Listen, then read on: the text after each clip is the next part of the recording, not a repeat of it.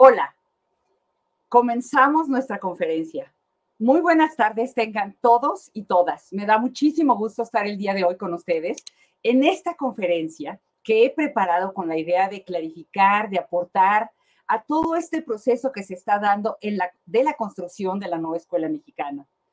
Lo hago porque he visto que hay muchísimas confusiones en los términos que se aplican tanto en el plan y programas de estudios como en el diseño del programa analítico, en la aplicación de las planeaciones y en otras. Por eso para mí es un verdadero placer tratar de contribuir para que ustedes tengan más claridad sobre lo que tienen que hacer en este nuevo plan y programa de estudios que se está aplicando ya desde la Secretaría de Educación Pública. La mecánica que voy a seguir es que al finalizar la conferencia voy a responder a las preguntas que ustedes vayan teniendo.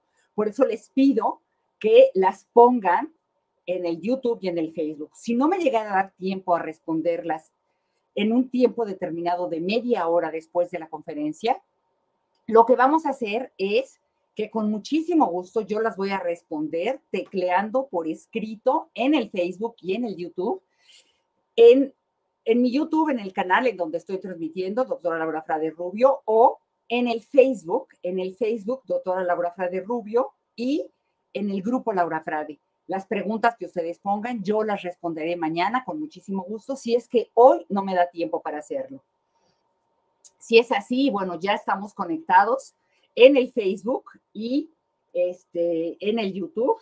Voy a eh, dar inicio nada más que me digan que ya está todo listo aquí en el WhatsApp, mi personal. ¿Ya estamos listos entonces?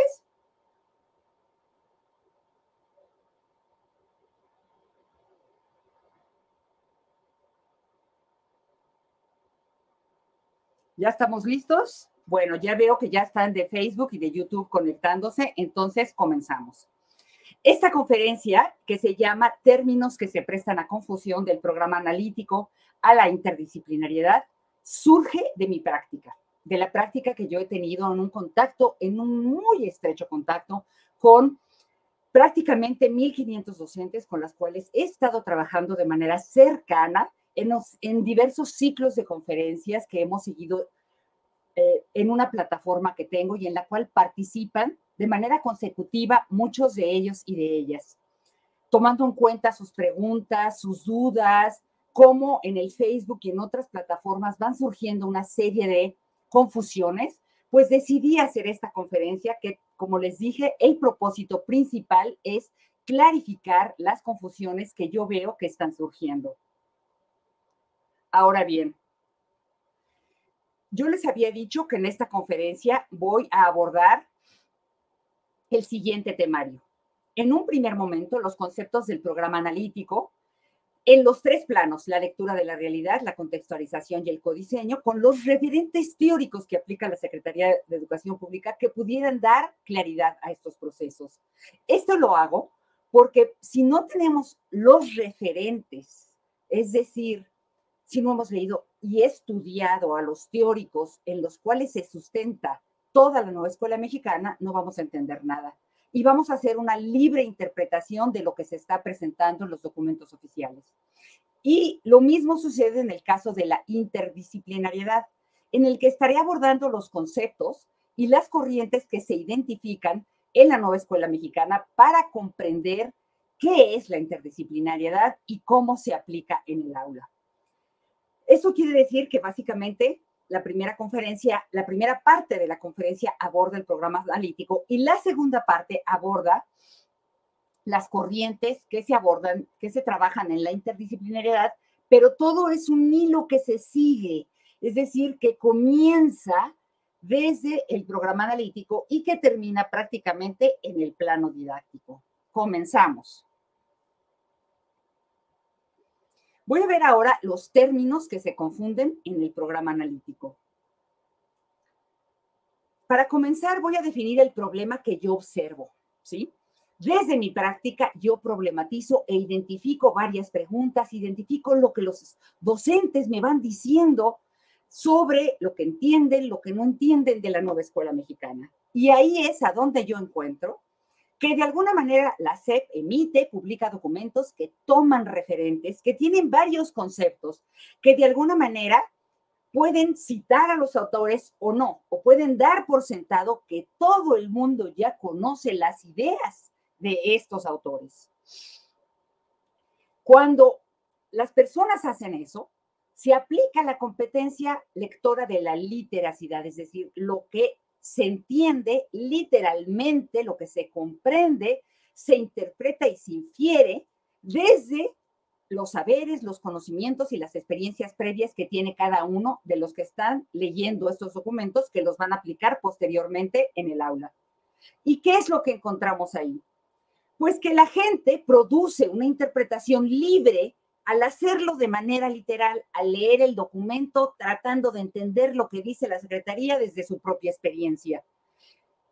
Cada quien emite diferentes interpretaciones, diferentes opiniones, y lo que yo he visto que ha surgido es realmente una torre de Babel, porque N cantidad de voces, de interpretaciones sobre términos y conceptos que la Secretaría maneja, sobre autores que da por hecho que todos conocemos y que ya hemos leído, pues resulta en una torre de Babel. No nos estamos entendiendo ya en lo que implican estos documentos, en los conceptos, en los fundamentos teóricos que hay detrás de ellos.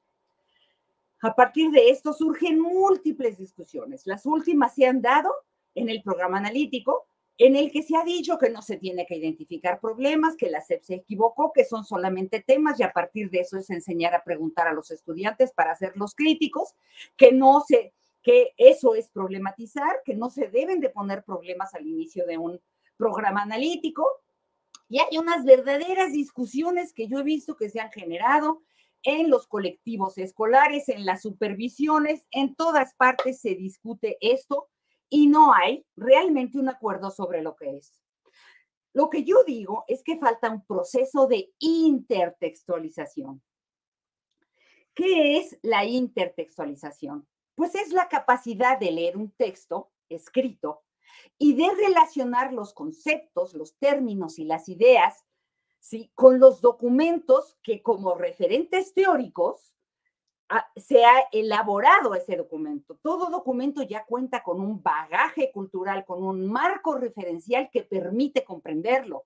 A veces se le cita, a veces no se le cita. A mí lo que me queda claro es que la nueva escuela mexicana está diseñada desde la pedagogía crítica. Y eso implica una jerga, un común denominador de múltiples conceptos que normalmente pues la gente no domina, no entiende y no conoce. Entonces, la intertextualización, esta capacidad, esta competencia en sí misma, implica detectar cuando uno lee el texto y ya conoce los referentes, lo que es correcto, lo que no es correcto, lo que se apega a esos referentes o lo que se construye como una nueva idea con base en esos referentes, como una aportación. Esta capacidad de, intertextualización es la que yo siento que ha faltado en la nueva escuela mexicana. ¿Por qué lo digo? Porque tanta confusión que yo identifico parte de no conocer a los referentes teóricos que de alguna manera la Secretaría de Educación Pública cita, pero también da por hecho que ya se conocen. ¿Cuáles son los referentes teóricos de la nueva escuela mexicana? El principal es Paulo Freire. De hecho, los libros de un maestro sin, este, de un libro para la maestra y el maestro sin recetas, surge precisamente de uno que había hecho Paulo Freire. La idea, la conceptualización, surge de uno que había hecho Paulo Freire, que lo tienen en pantalla la carátula, ¿sí? Pero la pedagogía liberadora de Paulo Freire, con estos libros que tienen aquí enfrente, la pedagogía del oprimido, la pedagogía liberadora, la pedagogía de los sueños posibles, la pedagogía como práctica de libertad, etcétera, realmente es el fundamento principal de la nueva escuela mexicana. Y si queremos entender el programa analítico, tendríamos que entender al referente que implica Paulo Freire como tal. Entonces, si ustedes se fijan, en la nueva escuela mexicana surgen muchos conceptos que Paulo Freire acuñó generó desde su pedagogía, desde su práctica en la alfabetización de adultos. Por ejemplo, la lectura de la realidad, la problematización, la situación problema, el diálogo, la concientización o bien generar conciencia y la transformación de la realidad. Si ustedes observan la nueva escuela mexicana, estas palabras se encuentran constantemente repetidas en el plan de estudios 2022, en los avances de los programas sintéticos posteriormente, en los programas sintéticos actuales, en el libro o en los libros fase este, 3, 4, 5 y 6 de un libro sin recetas para el maestro y la maestra cuando no se conoce lo que estos términos significan, no podemos entonces realmente comprender la nueva escuela mexicana y cada quien la va a interpretar desde sus propios referentes, cuando el referente teórico es el de Paulo Freire. ¿Qué decía la pedagogía de la liberación de Paulo Freire? Pues busca un proceso de concientización sobre la realidad, que la gente se haga consciente de la realidad que enfrenta, en la que se encuentran personas oprimidas que sufren mucho, pero que no saben por qué sufren. Entonces, se genera un proceso en el que a partir de la lectura del mundo, decía en portugués Paulo Freire, que ya después este término se tradujo como la lectura de la realidad, a partir de esa lectura, es decir, de observar, de mirar el mundo, de identificar, de preguntarse mediante el diálogo, ¿sí? En círculos de estudios en los que hay educando, en una relación educando, educador, educador, educando, se analiza la vida cotidiana para detectar problemas que no se identifican como tales. La vida cotidiana está ahí, la gente la vive, trabaja, sufre, pero no es consciente de las causas de esa situación. Es a partir de que se problematiza, de que se cuestiona, de que se hacen preguntas, que uno es consciente de la existencia de esos problemas y con ello de que puede cambiarse esa situación, de que no necesita uno vivir y enfrentarlos diariamente sin poder modificarlos. Esta pedagogía prácticamente nos lleva a ver y a leer la realidad de los sujetos desde su contexto, desde lo que viven, desde lo que los rodea, pensando, reflexionando sobre el conocimiento que se necesita adquirir para actuar y con ello transformar esa realidad. Esta pedagogía se origina en la alfabetización de adultos. ¿sí? Paulo Freire se ve a las comunidades más pobres y ve que la gente ¿sí? necesita aprender a leer y escribir, pero que para hacerlo prácticamente debe de enfrentar su mundo, aprender a leer el mundo y con ello aprender a leer y escribir su palabra. Es este proceso, ver la realidad desde el contexto, pensar y reflexionar, buscar el conocimiento que se necesita para luego actuar y transformar esa realidad la base de la pedagogía de la liberación de Paulo Freire, que está inserta en la nueva escuela mexicana de Cabo. Esta educación rechaza la educación bancaria. ¿Qué es la educación bancaria? Pues es el depósito y consumo de conocimientos en una persona, memoriza, se lo sabe, lo aprende, lo repite, lo reproduce y lo dice, sin que esto, sin que esta cantidad de conocimientos la lleven necesariamente a concentrarse en lo que ve, a aprender para modificar esa realidad que ve.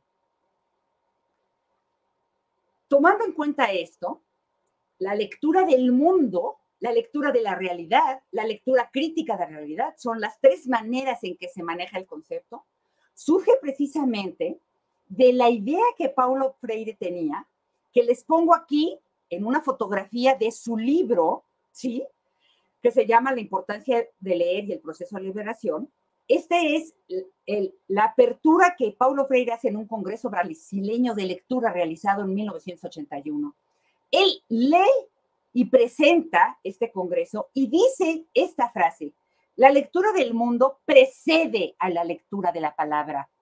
De ahí que la posterior lectura de esta no pueda prescindir de la continuidad de la lectura de aquel. Lenguaje y realidad se vinculan dinámicamente.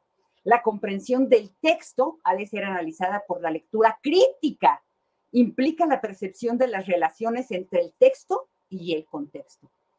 Esto que ustedes ven aquí es el fundamento de la lectura de la realidad. Es decir, primero vamos a leer la realidad, vamos a ver qué nos dice la realidad, vamos a identificar la realidad. Y esa lectura de la realidad es la que me va a permitir ponerle nombre y ponerle palabra, la palabra escrita a la realidad. También otro término que Pablo Freire utiliza mucho y que viene repetida y reiteradamente en la nueva escuela mexicana son las situaciones problemas, las situaciones problemáticas. Les pongo dos párrafos de Pablo Freire ahí.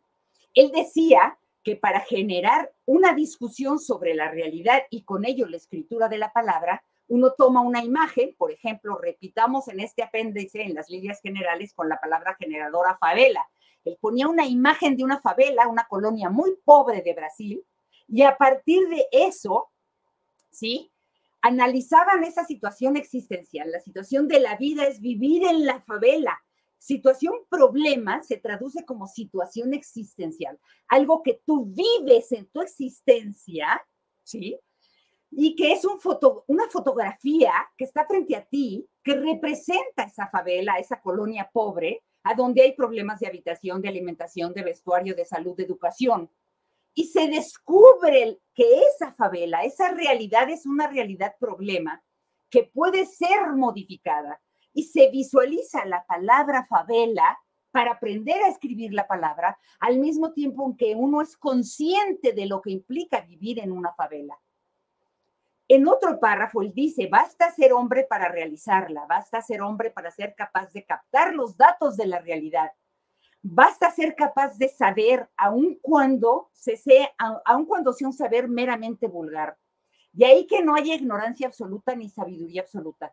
Sin embargo, el hombre no capta el dato de la realidad, el fenómeno, la situación problemática pura en la captación del problema del fenómeno capta también sus nexos causales, con qué se relaciona, qué lo causa, qué efectos tiene. Aprende la causalidad. Esta pobreza está generada por estas condiciones. La captación será tanto más crítica cuando más profunda sea la aprehensión de la realidad, cuando más analicemos la realidad. Entonces, para Paulo Freire, ¿sí? Cuando uno lee la realidad, cuando uno la ve ¿sí? Entonces puede realmente identificar, ¿sí? Esas situaciones problema. Esas situaciones que se dan en una situación existencial.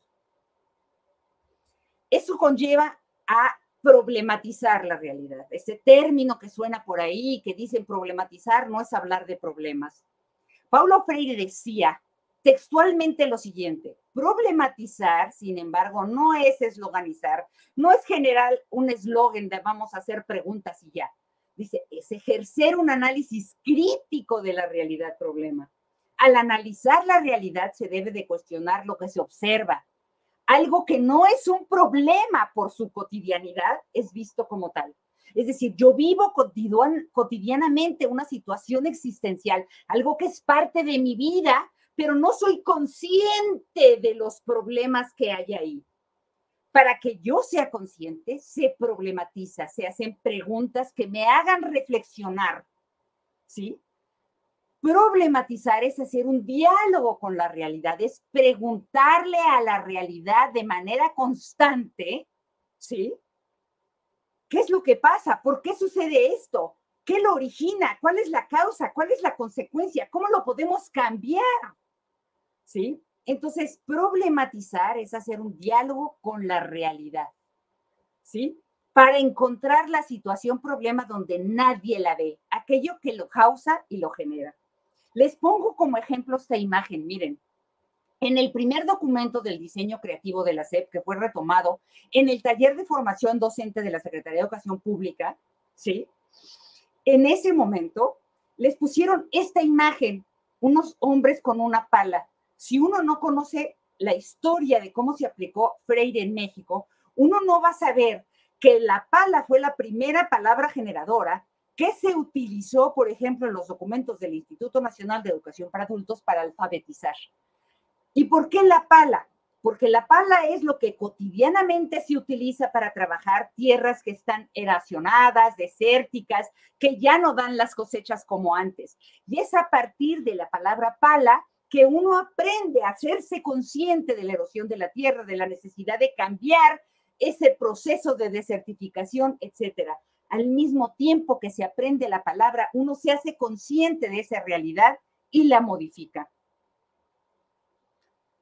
Por ejemplo, les pongo aquí tres imágenes. Una mujer puede pensar que es normal que la golpeen. Su situación existencial, ¿sí? Es esa.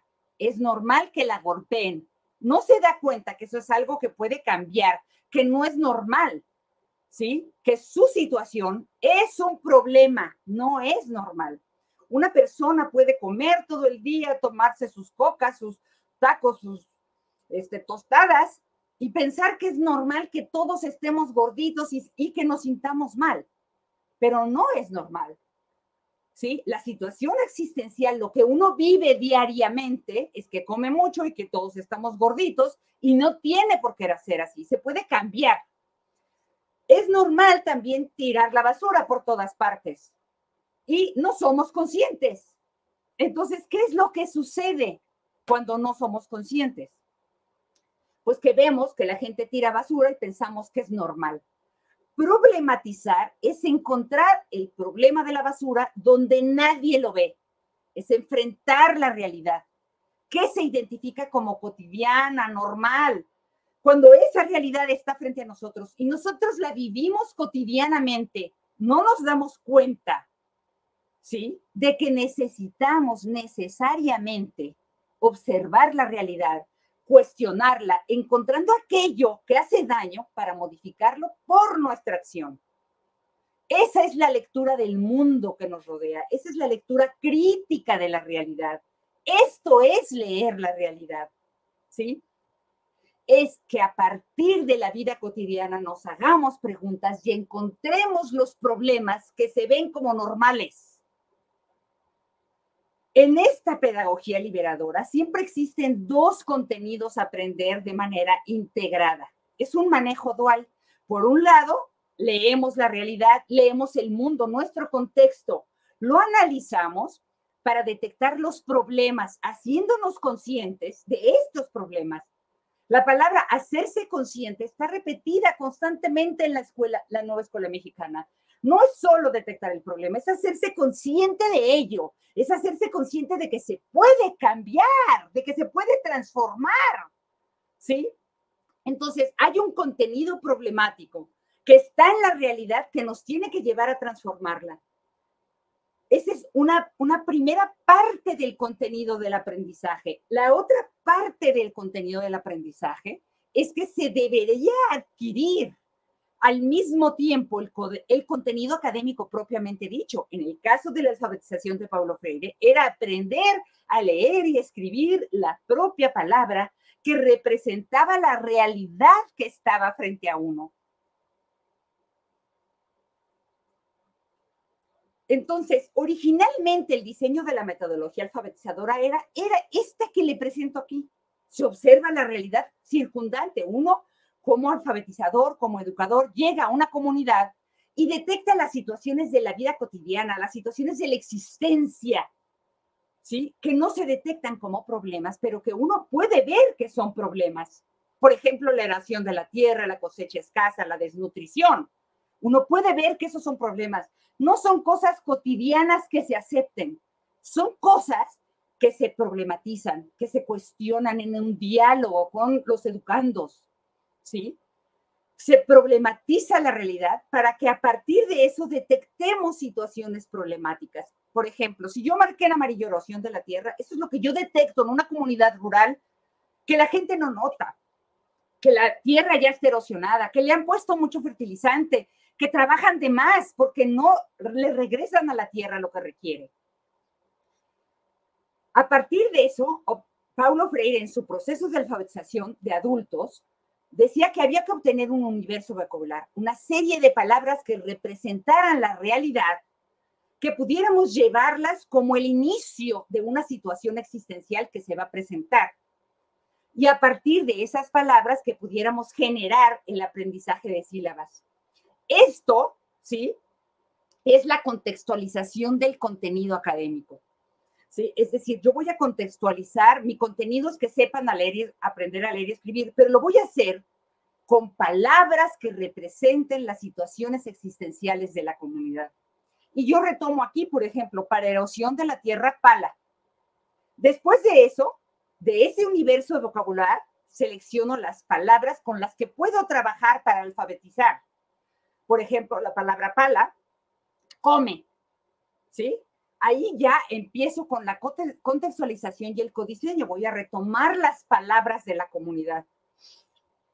Y voy a crear una representación de situaciones existenciales o situaciones problemas, un dibujo, una fotografía, una imagen, que la presento frente a la gente y entonces la gente le analiza, la discute con las preguntas, les presento la palabra, con esa palabra generamos la discusión, con esa imagen generamos la discusión. Por ejemplo, yo voy a presentar para trabajar erosión con la palabra pala, hombres trabajando con una pala en una tierra yerma, seca. Este es el plano didáctico.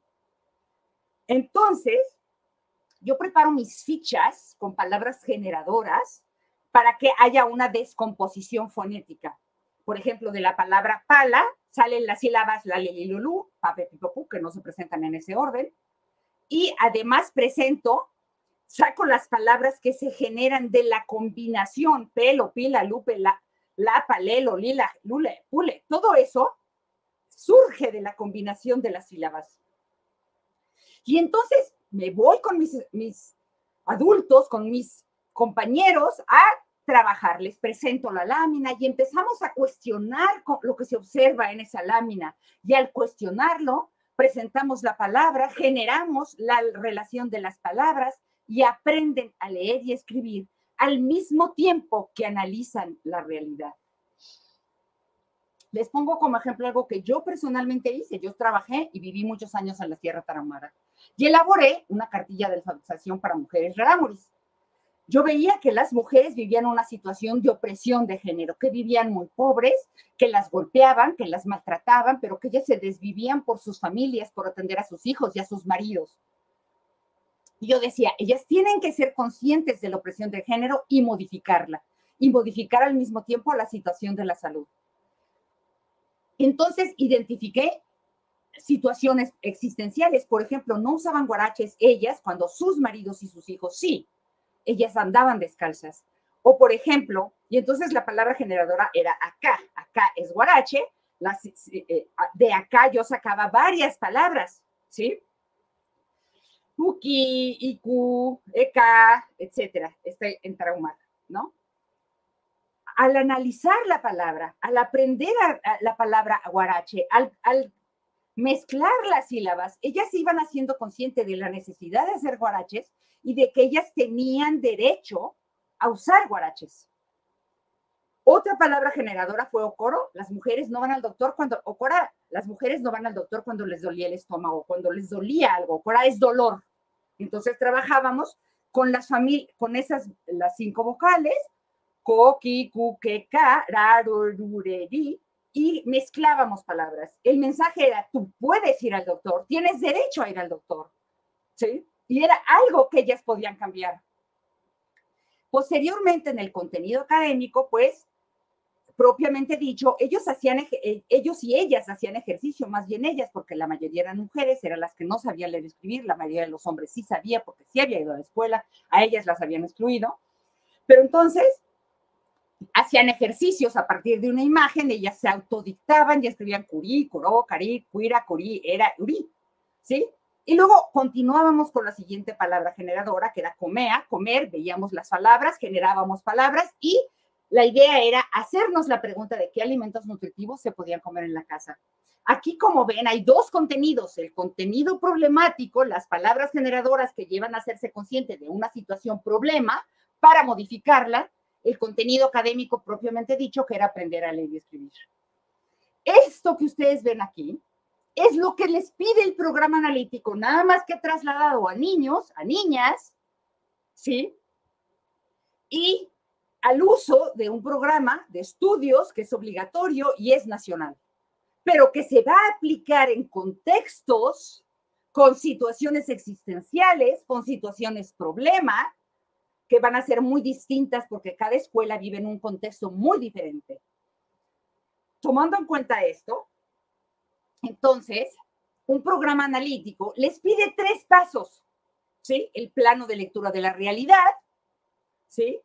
Que implica el análisis del contexto socioeducativo de las situaciones que se observan en la comunidad escuela y aula, desde las aportaciones de cada eje y campo formativo mediante un proceso de problematización.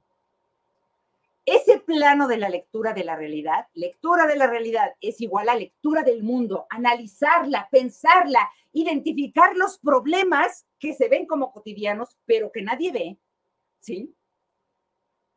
Y eso me va a llevar a hacer un diagnóstico socioeducativo de la escuela, a elegir los ejes articuladores que responden, así como palabras generadoras, estos ejes responden a modificar esa realidad cuando se trabajan en el aula y voy a elegir las situaciones, problemas, de acuerdo a la fase, al grado, al campo formativo, a, las asignaturas en secundaria, que voy a poder trabajar. Ahí estamos hablando de situaciones, problema, no de proyectos, no de problemas, de situaciones, problemas que surgen del análisis de esa realidad. Luego voy al plano de la contextualización, retomo mis estrategias nacionales, ¿sí? que son siete, y selecciono a partir de ese problema los ejes articuladores, el campo formativo en el cual yo puedo trabajar esa situación problema, con los contenidos y PDA del grado que puedo trabajar ese problema y los relaciono. ¿Sí? Y, en el plan, y luego voy al plano del codiseño. Voy a determinar si en mi contexto estos contenidos y PDA se ajustan a esa realidad o si necesito agregar otros o modificarlos y voy a diseñar contenidos que son ejes temáticos, temas generales, por ejemplo, la violencia contra los animales, y un proceso de desarrollo de aprendizaje que está diseñado por objetivos, sí que se logran en un proceso con verbos, identifica, comprende, analiza. Ejemplo, identifica que los animales son seres vivos que no se maltratan. Una vez que yo hago el programa analítico, yo tengo varias situaciones existenciales a partir de las cuales yo problematicé en el colectivo docente entre varios o eh, por fase, por grado, determinamos cuáles son las situaciones problema y hago la relación situación-problema, campo formativo, contenidos y PDA, que luego me van a llevar al plano didáctico a diseñar el proyecto o el ABP que responde. Fíjense cómo es Freire trasladado a la escuela. Si yo no entiendo los conceptos de Freire, no entiendo. Que si estamos hablando de analizar la realidad de la escuela, de analizar la realidad de la comunidad, de analizar la realidad del mundo, de identificar situaciones problema, ¿sí? Que me llevan a contextualizarlos, es decir, a relacionar mis contenidos y PDAs con esa situación problema para generar entonces el proyecto en el plano didáctico. ¿Qué elementos configuran el plano de la realidad según el diseño creativo ¿sí? de un libro sin recetas fase 3? La lectura de la realidad, como ya lo dijimos, es el análisis del contexto socioeducativo, social y educativo en el que está la escuela. Esto te va a llevar a generar un diagnóstico socioeducativo, es decir, si tienes que partir, y se los digo porque yo apliqué a Freire, yo sí lo hice y sí sé de lo que estoy hablando. Sí tienes que generar de inicio, yo tuve que ver cuáles eran los problemas que vivían las mujeres, ¿sí? ¿Qué, qué problemas tenían? ¿Cómo podía yo meterme? Aquellas al mismo tiempo que aprenden a leer y escribir, modifican su realidad. Entonces, a partir de leer la realidad, de leer esa realidad, ¿qué tengo que hacer? ¿De qué realidad estamos hablando? De la realidad del docente. La realidad del docente que está en una escuela, de la docente, del directivo, del supervisor que está en una escuela, que primero va a analizar las condiciones académicas, personales, familiares de los estudiantes, docentes y directivos. ¿Sí? Posteriormente, que hace eso, ¿sí? Posteriormente va a analizar el plan de estudio, a conocerlo a fondo. ¿Para qué? Para poder contextualizarlo. Va a analizar los programas sintéticos que le corresponden a su fase de grado. Y luego de eso va a hacer el análisis del contexto social. Va a encontrar las situaciones problema que afectan a la comunidad, al país, al mundo, que las puedes llevar a la escuela para ser transformadas por la acción de los estudiantes. Muchos dicen, no se puede transformar realidad. Por supuesto que sí. Lo que pasa es que no es la realidad mundial, no vas a transformar la guerra de los narcos. Vas a transformar lo que tú puedes hacer a nivel individual y lo que a nivel de la comunidad de aula, de escuela y de la comunidad se puede hacer. Eso sí lo puedes transformar.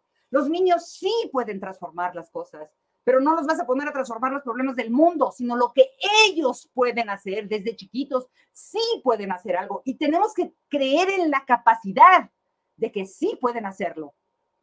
Entonces, es a partir de esta realidad de las y de los docentes, ¿sí? Que vamos a poder hacer nuestro programa creativo.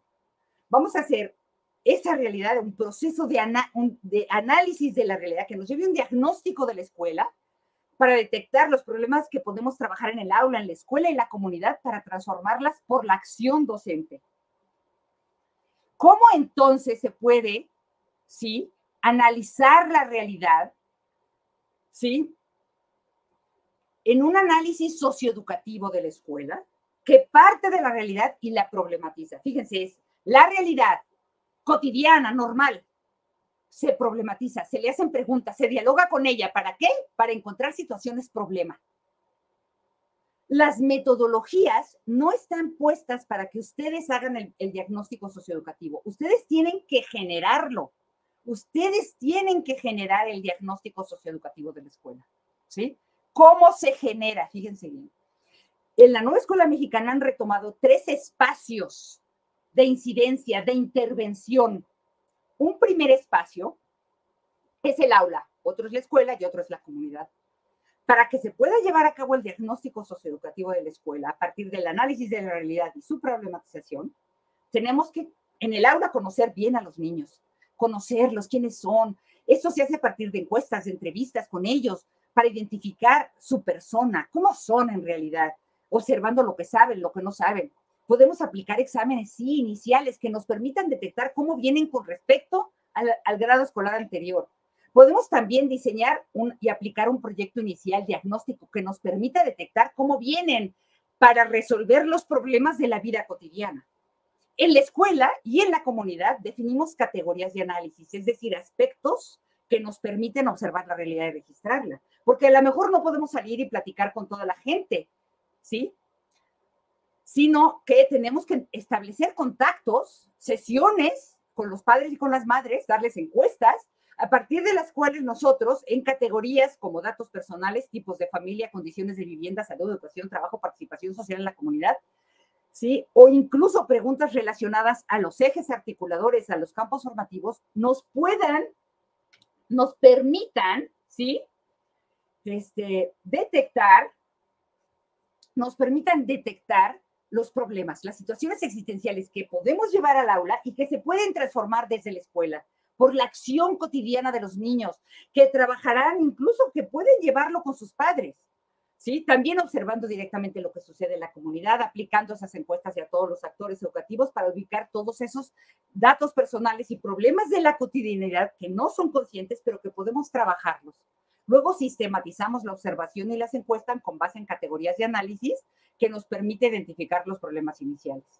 Y a partir de ello, ¿sí? Hacemos un diagnóstico de la comunidad territorio, es decir, el diagnóstico de la comunidad territorio es una descripción analítica de la situación existencial, cómo viven, cómo están, cómo, qué problemas tienen qué problemas perciben como problemas, cuáles podemos llevar a la escuela, cuáles podemos modificar y si no modificar, contribuir a su modificación por la conciencia. La idea es hacer conciencia de esa realidad de la que uno no es consciente.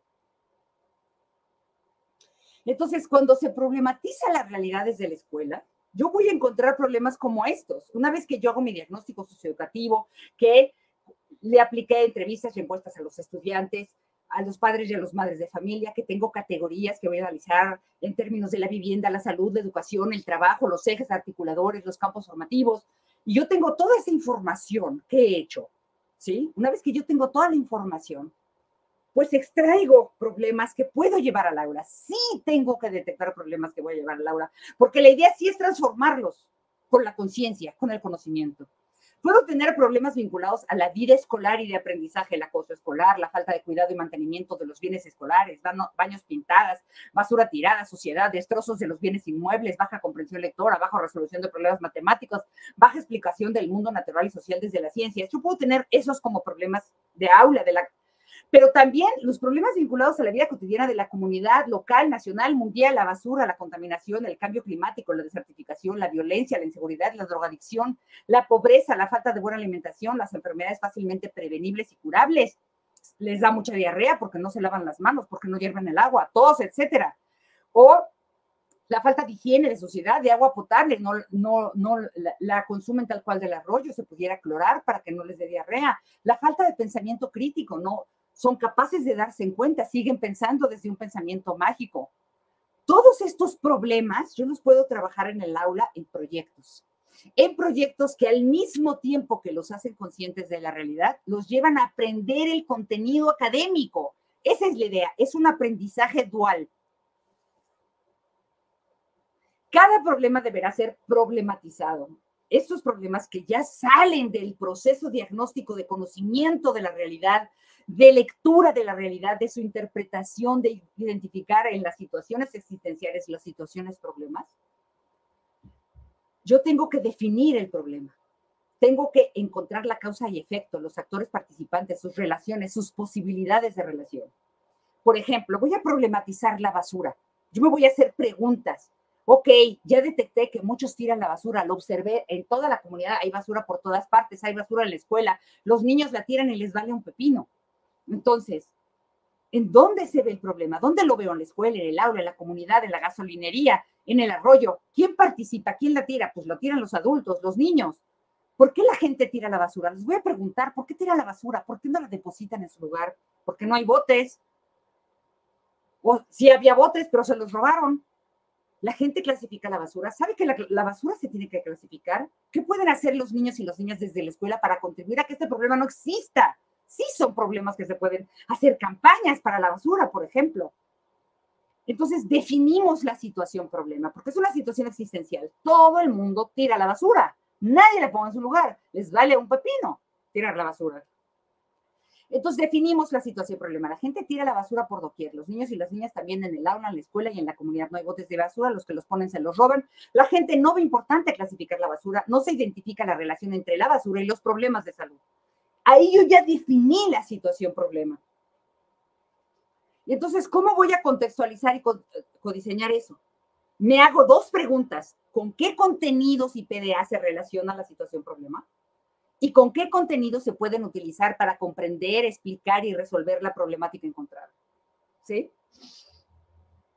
Y defino el problema de la basura. Toda la gente la tira por doquier, no hay conciencia de la necesidad de clasificarla, tirarla y con ello del impacto ambiental. Entonces yo ya puedo tomar mi codiseño, contenido, clasificación de la basura, PDA, comprende que la basura que tira sin reciclar afecta a la biodiversidad. Proyecto, campaña para evitar las que las tortugas mueran por basura. ¿Y por qué las tortugas? Porque es un contenido sensible de una noticia, la tortuga que lloró por culpa de un popote y la acción mundial que generó, ¿sí? Porque todo popote que tires en la ciudad termina en las narices de una tortuga en el mar. Y esa relación los niños y las niñas no las ven. Hay que generarla. Entonces tengo el contenido, pérdida de biodiversidad, problemas de medioambientales en la comunidad de México y el mundo. Esto es de la fase 5, página 285. Y el PDA analiza y explica algunos problemas medioambientales de la comunidad de México y el mundo, sus causas, consecuencias en la salud ambiental. Y lo que vamos a generar, sí es la conciencia para la transformación del problema. Tenemos que ver problema, conciencia transformación del problema. Entonces, el enfrentamiento de la realidad problema, porque así es, es una realidad problema, es interdisciplinar. Para que podamos resolver el problema, varias disciplinas del conocimiento participan y se relacionan para comprenderla, explicarla, resolverla y transformarla. Y ahí entramos en el terreno de la interdisciplinariedad, los conceptos y las corrientes que se identifican desde la nueva escuela mexicana. En su, ahora les dejaron de tarea leer un libro sin recetas para la maestra y el maestro, la fase 4, todo lo que tiene que ver con interdisciplinariedad son aproximadamente cinco hojitas. Y dice ahí que la interdisciplinariedad de la nueva escuela mexicana designa las interrelaciones forjadas al interior de una disciplina, la interdisciplinariedad, perdón, designa las interrelaciones forjadas al interior de una disciplina de un mismo campo disciplinario en función de su lógica interna, en sentido amplio es por por lo general utilizada como expresión genérica para referirse a todas las formas de vínculos que pueden establecerse entre disciplinas. En sentido escrito, designa interacciones eficaces tejidas entre dos o más disciplinas y sus conceptos y sus procedimientos metodológicos. Y les aparece este cuadrito, fíjense bien. Y en este cuadrito, de una manera muy simplista, se dice que en México se había trabajado la interdisciplinariedad instrumental, pero ahora se busca la interdisciplinariedad este, conceptual que tiene búsqueda de sentido, básicamente.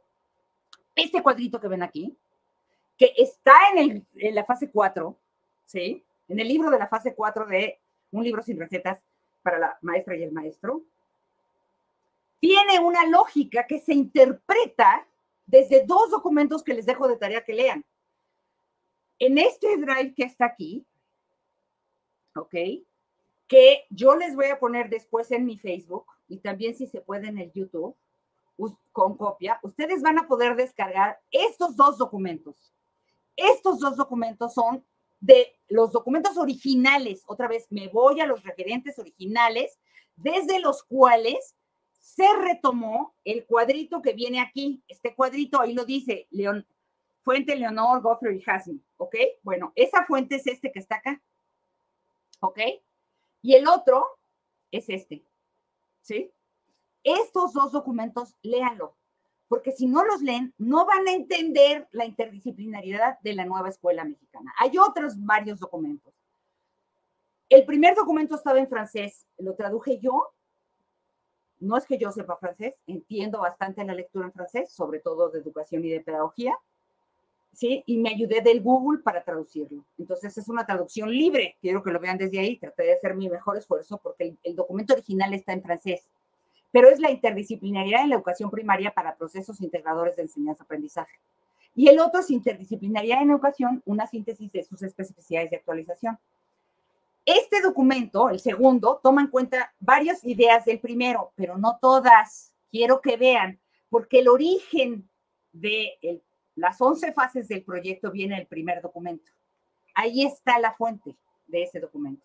Bueno, ahora bien, en el primer documento y en el segundo, Lenor explica, explica que él fue a un encuentro, a un congreso, y en ese congreso mundial se explicaron las posiciones de Francia, de Estados Unidos y de Brasil con respecto a la interdisciplinariedad. Y él encuentra que hay prácticamente tres corrientes en la interdisciplinariedad que abordan el problema. Una primera es una perspectiva filosófica o epistemológica, que es la francesa, que busca una síntesis conceptual, es decir, es una interdisciplinariedad académica, ve el objeto de conocimiento y busca explicar el objeto, el fenómeno, a partir de la interrelación de varias disciplinas. Y lo que se hace ahí es unificar el saber científico y reflexionar sobre los saberes disciplinarios en interacción para explicar un problema. Ahí es la búsqueda del sentido, del fenómeno, del evento. Esa es la postura francesa. Pero la postura norteamericana, ¿sí? Es una perspectiva instrumental. Son interacciones externas. El objeto se interrelaciona con otra serie de fenómenos que suceden alrededor o de personas o de sujetos y genera problemas. A partir de eso se buscan las respuestas en operaciones a preguntas que la sociedad se hace sobre ese problema y se genera un proyecto que lo aborda de manera interdisciplinar. Es un saber en función del proyecto, ¿de acuerdo? Es un saber en función del proyecto. Entonces, aquí lo importante es que veamos que esa es la perspectiva de Estados Unidos. Y la perspectiva de Brasil es una perspectiva fenomenológica, es muy, eh, consiste en las la búsqueda de respuestas que un sujeto se hace desde su propia interacción con el fenómeno. Es una interdisciplinaridad introspectiva. El, sujeto la genera desde dentro, a donde lo más importante es que el sujeto se explique a sí mismo, al mundo, es muy subjetiva. Desde esa perspectiva es que se generó el cuadrito este. Ese cuadrito nos lleva a identificar que él ubica en muchísimos libros que hay una interdisciplinaridad conceptual como búsqueda de sentido, que es la que se aplica en la interdisciplinaridad crítica y en la interdisciplinaridad, en la interdisciplinariedad disciplinaria y la interdisciplinariedad instrumental. A ver, les voy a hacer una pregunta. De acuerdo a este cuadrito, y contéstenme en el Facebook o en el YouTube, la nueva escuela mexicana, ¿desde qué perspectiva está viendo, sí, la interdisciplinariedad?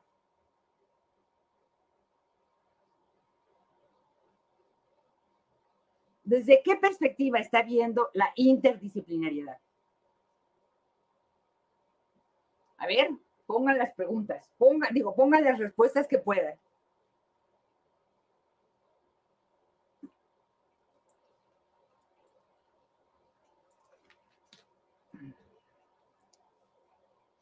desde la brasileña es fenomenológica, ¿sí? A ver, ¿qué perspectiva busca darle respuestas operativas a un problema?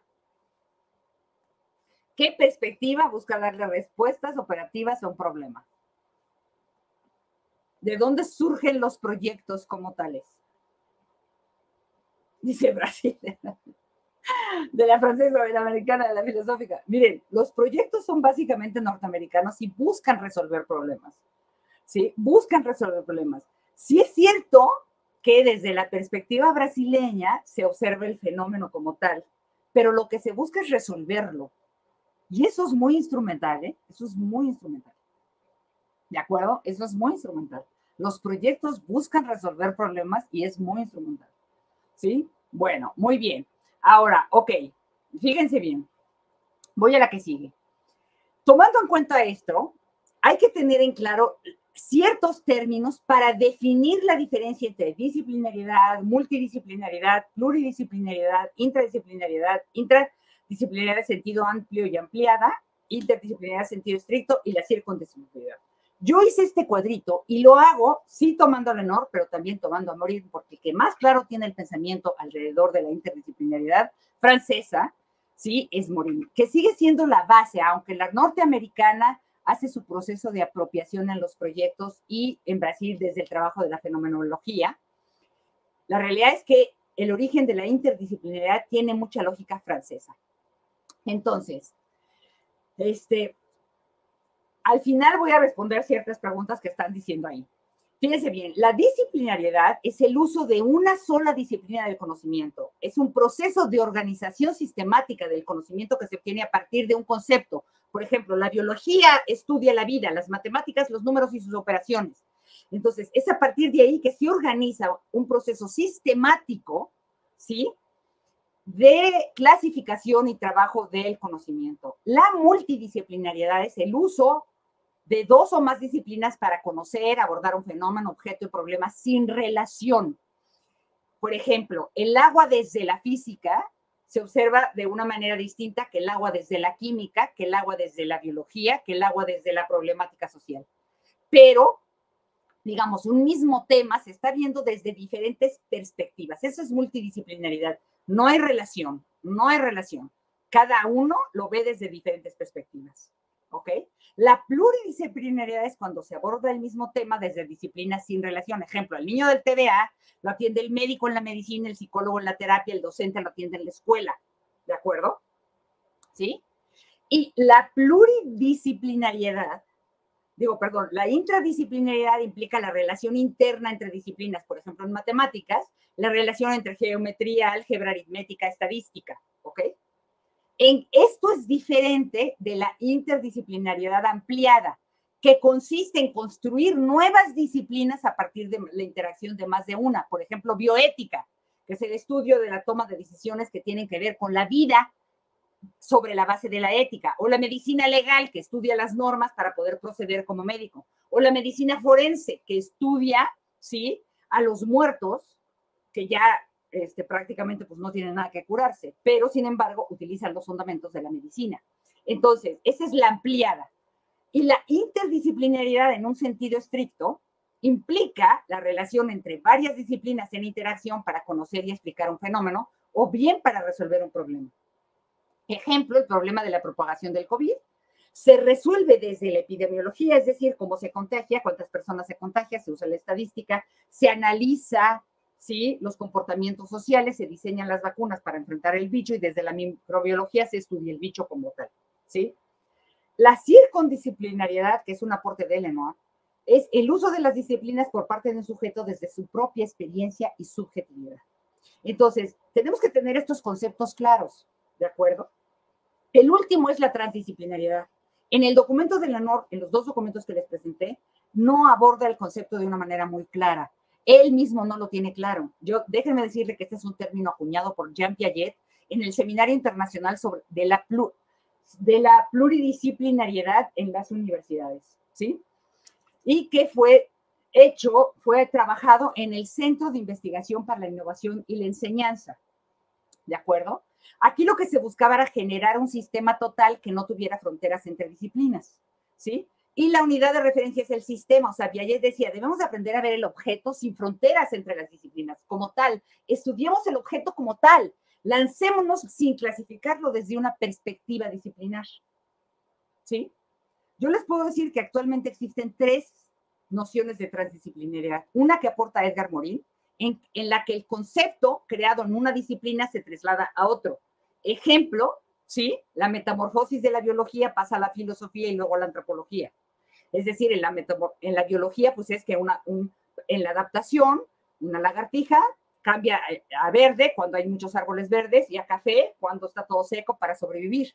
Cuando pasa a la filosofía, pues es símbolo del renacer y es la metamorfosis de una persona que cambia y renace. Y en la antropología, ¿sí? muchos pueblos se metamorfosean en ciertas fiestas que llevan a cabo. ¿sí? Entonces, otra perspectiva de la transdisciplinaridad es que el objeto se observa como lo que es en la realidad y aporta a cada disciplina del conocimiento, ¿sí?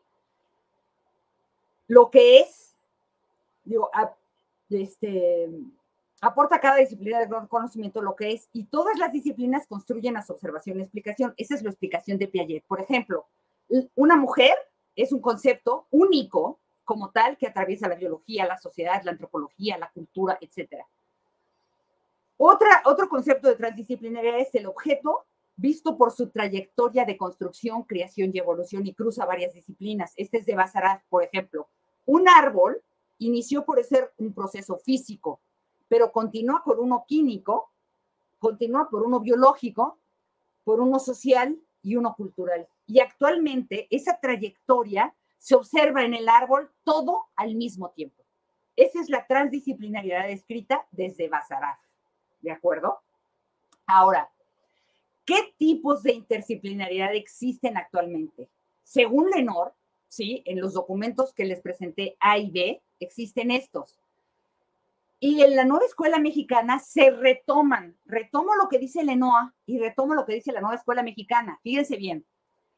Según Lenoa, existe la interdisciplinariedad científica, su finalidad es la producción de nuevos saberes y dar respuesta a las necesidades de la sociedad mediante vínculos entre las ramas de la ciencia. ¿De acuerdo? ¿Sí?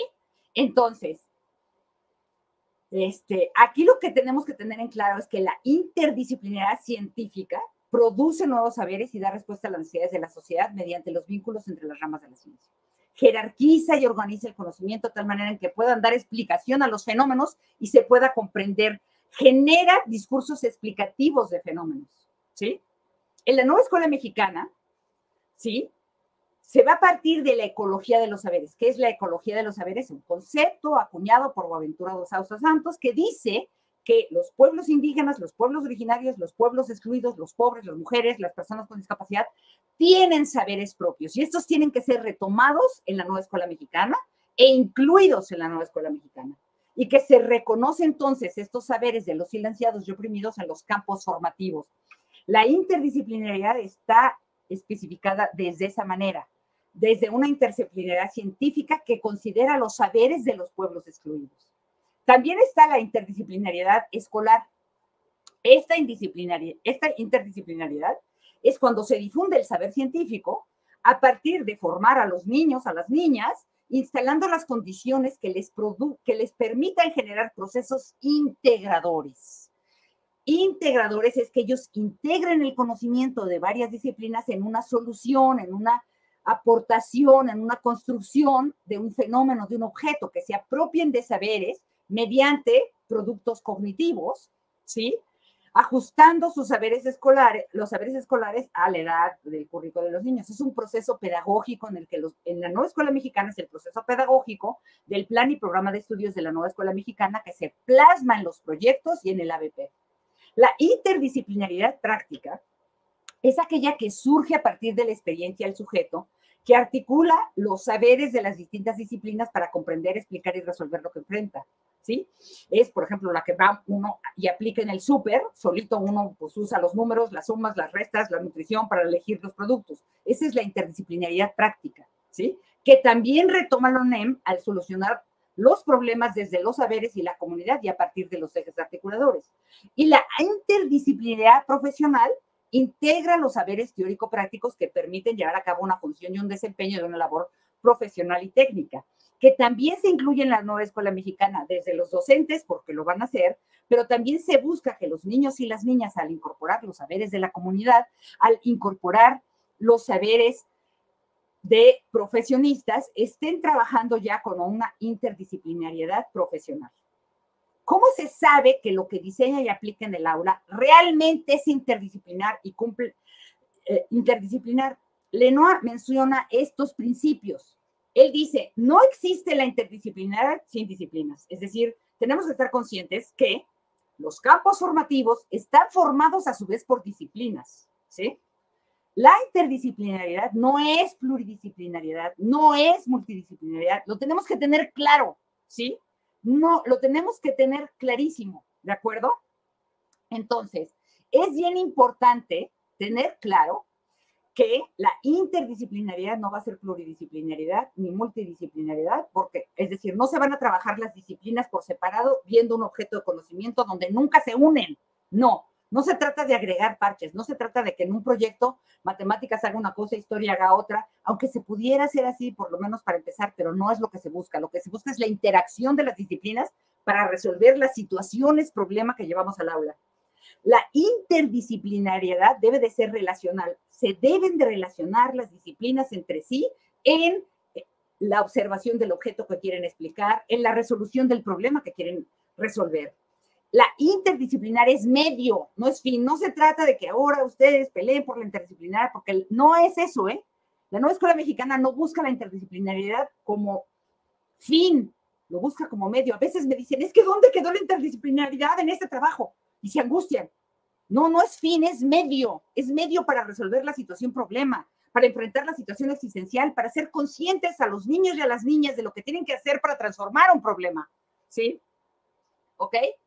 Y la interdisciplinariedad siempre va a generar, tensión entre las disciplinas. Por ejemplo, tú llevas un proyecto, en secundaria es típico y entonces el, este, en historia pelea por historia y el de geografía por geografía y el de civismo por civismo y no se ponen de acuerdo porque cada uno quiere que aprendan lo suyo. Y aquí estas tensiones tienen que negociarse y la mejor forma de negociación es que se, se trabaje sobre la realidad. Y si en la realidad nada más incluyen dos disciplinas, la otra disciplina puede trabajar otra cosa. Déjenla libre. No sometan porque la interdisciplinariedad no es fin, es medio. ¿Sí? ¿Cómo se aplica entonces la interdisciplinariedad en la nueva escuela mexicana? ¿Sí? a partir de un modelo integrador. ¿Qué es un modelo integrador? Fíjense bien. Integrador no es igual a interdisciplinar. Ojo, una parte del modelo integrador es la interdisciplinariedad. Integrador no va a querer, no quiere decir que integremos todos los campos formativos y los ejes. No, un modelo integrador vincula, relaciona y genera interacciones entre estos elementos, entre los saberes intuitivos, populares, locales y los conocimientos científicos de varias disciplinas. ¿sí? Y por eso se generan los campos formativos. Entre las necesidades del aula, la escuela y la comunidad, con los ejes articuladores y los derechos humanos. entre la comunidad, territorio y el currículo escolar, entre lo afectivo, lo cognitivo, lo motriz, lo social, lo cultural, los contenidos y los PDAs, entre la razón, la mano y el corazón, dice Lenoir. ¿De acuerdo? Él dice que la mejor propuesta eh, para trabajar la interdisciplinariedad es la que trabaja la propuesta francesa que le busca dar sentido y explicación a los fenómenos, la propuesta norteamericana que resuelve los problemas y la propuesta brasileña que trata de ver los fenómenos que se dan desde el sujeto, cómo lo siente y cómo lo observa. La interdisciplinariedad nos va a llevar entonces a observar que en tanto los ejes articuladores como los campos formativos ya son interdisciplinares en sí mismos. Eso lo tenemos que tener en claro. Ya son interdisciplinares. Los ejes articuladores surgen de identificar un problema, por ejemplo, la desigualdad de género. Si hay desigualdad entre los hombres y las mujeres, esa desigualdad se enfrenta al desarrollar el eje igualdad de género. Todos vamos a desarrollar la capacidad para vivir en igualdad de derechos y en equidad en las condiciones, hombres y mujeres. Y para eso, ¿sí? Pues yo voy a observar la igualdad de género a nivel de la historia, a nivel de las matemáticas, cuántas mujeres son violentadas, este, asesinadas en los feminicidios, a nivel de los saberes y el, pensamiento científico, cómo se explica el cuerpo humano. O sea, vamos a ver la igualdad de género, ¿sí? En varios campos formativos. Ojo, los ejes articuladores no son transversales. No se obliga a trabajar los ejes siempre, sino que dependiendo de la situación existencial, elegimos aquel aquel eje que responda al problema. Si yo veo desigualdad de género, trabajo igualdad de género. Si yo veo que la gente le da mucha diarrea porque no se lava las manos y no recoge la basura, entonces trabajo vida saludable. ¿Sí? Eso son, los ejes articuladores son líneas pedagógicas, dan línea de lo que se puede trabajar para responder a un problema. ¿Sí? Los ejes articuladores son capacidades, dice el plan y los programas de estudio expresan estas capacidades humanas a partir de siete ejes articuladores incorporados en el currículo, los cuales contienen los rasgos propiamente humanos de la formación de las ciudadanas y ciudadanas de una sociedad democrática, desde la perspectiva plural y diversa como la mexicana, página 92 del acuerdo. ¿Sí? Ahora, los campos formativos, fíjense bien, es importante entender que ya son interdisciplinares en sí mismos, ya están relacionados entre varias disciplinas. No tenemos, no, no es correcto decir que para poder trabajar la interdisciplinaridad trabajamos un campo formativo con otro campo formativo y otro campo formativo, porque aquí ya lo dice. La premisa estructural del plan y programa de estudios es que la realidad no es la totalidad universal común para todo el mundo y, por y tampoco se puede describir esa realidad totalizante desde un campo universal de conocimientos que le dé sentido estructurar el currículo a través de los campos que permitan la integración del conocimiento y por lo tanto una visión más compleja de la realidad posibilita considerar distintos ámbitos de la vida no reductibles a uno o reductibles entre sí, lo que permite ampliar el acceso a diversos ámbitos de sentido y el enriquecimiento del mundo mediante diversas verdades epistémicas. Y luego, lo más importante, un campo formativo no es la suma de los contenidos que lo conforman, ¿sí? Y desde ahí darle sentido a la realidad, es decir, primero veo los conocimientos y luego busco cómo se aplica eso en la realidad. No, es al revés. Es en una realidad que yo observo, identifico los conocimientos que requiero para poder enfrentarla, entenderla, comprenderla, explicarla. Y esa es la interdisciplinariedad que tiene cada campo. Cada campo formativo se origina a partir de una perspectiva de observación de la realidad que encuentra cómo explicarla en varias disciplinas que lo conforman. ¿Cómo se aplica entonces la, interdisciplinariedad en el plano didáctico? Al observar la realidad, problematizarla, se determinan situaciones problema que servirán de base para generar los proyectos YBP y otras situaciones didácticas. La situación problema se relaciona con un campo formativo principal y un eje articulador que permite seleccionar los contenidos de una fase y de un grado. ¿sí? ¿Puedo elegir contenidos y FDA de otros campos formativos? Sí, sí puedo hacerlo sí puedo hacerlo. Pero, ¿sí? Recuerden que van a evaluar por campo formativo, ya se los dijeron, y que van a tener que tener evidencias por campo formativo. Mientras más campos formativos metan en un proyecto, más difícil será que evalúen el campo formativo al cual está adjudicado. Por eso los libros de texto en la primaria están diseñados los proyectos por campo formativo, porque las evidencias que surgen de ese proyecto se ligan a la evaluación de un campo formativo como tal. ¿Sí? A partir de esto, de tener clara la situación problema, es entonces con sus contenidos y sus con sus contenidos y sus PDA que respondan, es entonces que se diseña un proyecto comunitario, una BP, un caso, un juego, una dinámica. Y es entonces que se diseña la secuencia de actividades con las fases, ¿sí? Que están determinadas por la nueva escuela mexicana o pueden ser otras más sencillas. Y se estipulan los comportamientos y productos que, permitirán evaluar el logro y los contenidos y PDA de los campos formativos correspondientes. ABP es aprendizaje basado en problemas, ¿de acuerdo? Ahora, de la situación problema que surge de un proceso de análisis de la realidad al problematizar en preguntas que observan, encuestan, registran y con ello, es con ello que se puede contextualizar, fíjense bien, ese es el procedimiento, ¿sí? Hay un análisis de la realidad que me lleva a detectar situaciones existenciales a partir de las cuales, de la vida cotidiana, detecto situaciones, problemas que llevo en el aula. Ejemplo, a ver, yo detecto que en la comunidad discriminan a los pueblos originarios, ¿sí? lo voy a trabajar en qué campo corresponde esto a ética, naturaleza y sociedad. Y, y al problematizar, encuentro causa, consecuencia, Existe discriminación a los pueblos originarios de la comunidad por parte de los pobladores, las infancias los ven feos, lo reproducen lo que oyen, ven y hacen los adultos en su casa, todos y ellos usan, usan lenguaje discriminatorio, no identifican que los indígenas tienen derechos y por lo tanto deben de ser respetados como personas que hablan una lengua propia, que viven y visten de manera distinta y que tienen un valor histórico como tal. Eso es problematizar, encontrar la causa, el efecto de aquella situación existencial que se observa en la cotidianidad y que no se ve como tal. ¿Sí? Entonces, aquí les pongo como ejemplo, ya retomé un contenido para preescolar, uno para cuarto de primaria, ¿sí? Y este, ese contenido de preescolar es para tercero de preescolar y, ten, y un contenido para primaria. Para preescolar, por ejemplo, los derechos de las niñas como base para el bienestar integral del establecimiento de acuerdos que favorecen la convivencia pacífica. Explica en su lengua materna y con otros lenguajes lo que entiende cada uno de los derechos de las niñas y de las niñas y escucha sus opiniones. Y en cuarto de primaria, la vida cotidiana antes de la primera invasión europea en México, del México colonial, y los grupos sociales que incidieron en la historia de la comunidad entidad de país, para reconocer sus aportes en lo social, cultural y económico. Y luego, indaga en diversas fuentes bibliográficas, hemerográficas o digitales sobre el México de la colonia, cómo era la vida cotidiana, qué eran las castas que tuvieron que ver, en qué trabajaban, cómo educaban a sus hijos o sus hijas, qué papel tuvo la religión en la vida de los pueblos. Puedo retomar contenidos y PDA de lenguajes para trabajarlo. A partir de esto, por ejemplo, también lo puedo trabajar ese, ese proceso de la discriminación de los pueblos originarios en segundo secundaria. Puedo ver el contenido de español, los géneros periodísticos y sus recursos para comunicar sucesos significativos, familiares, escolares, comunitarios y sociales.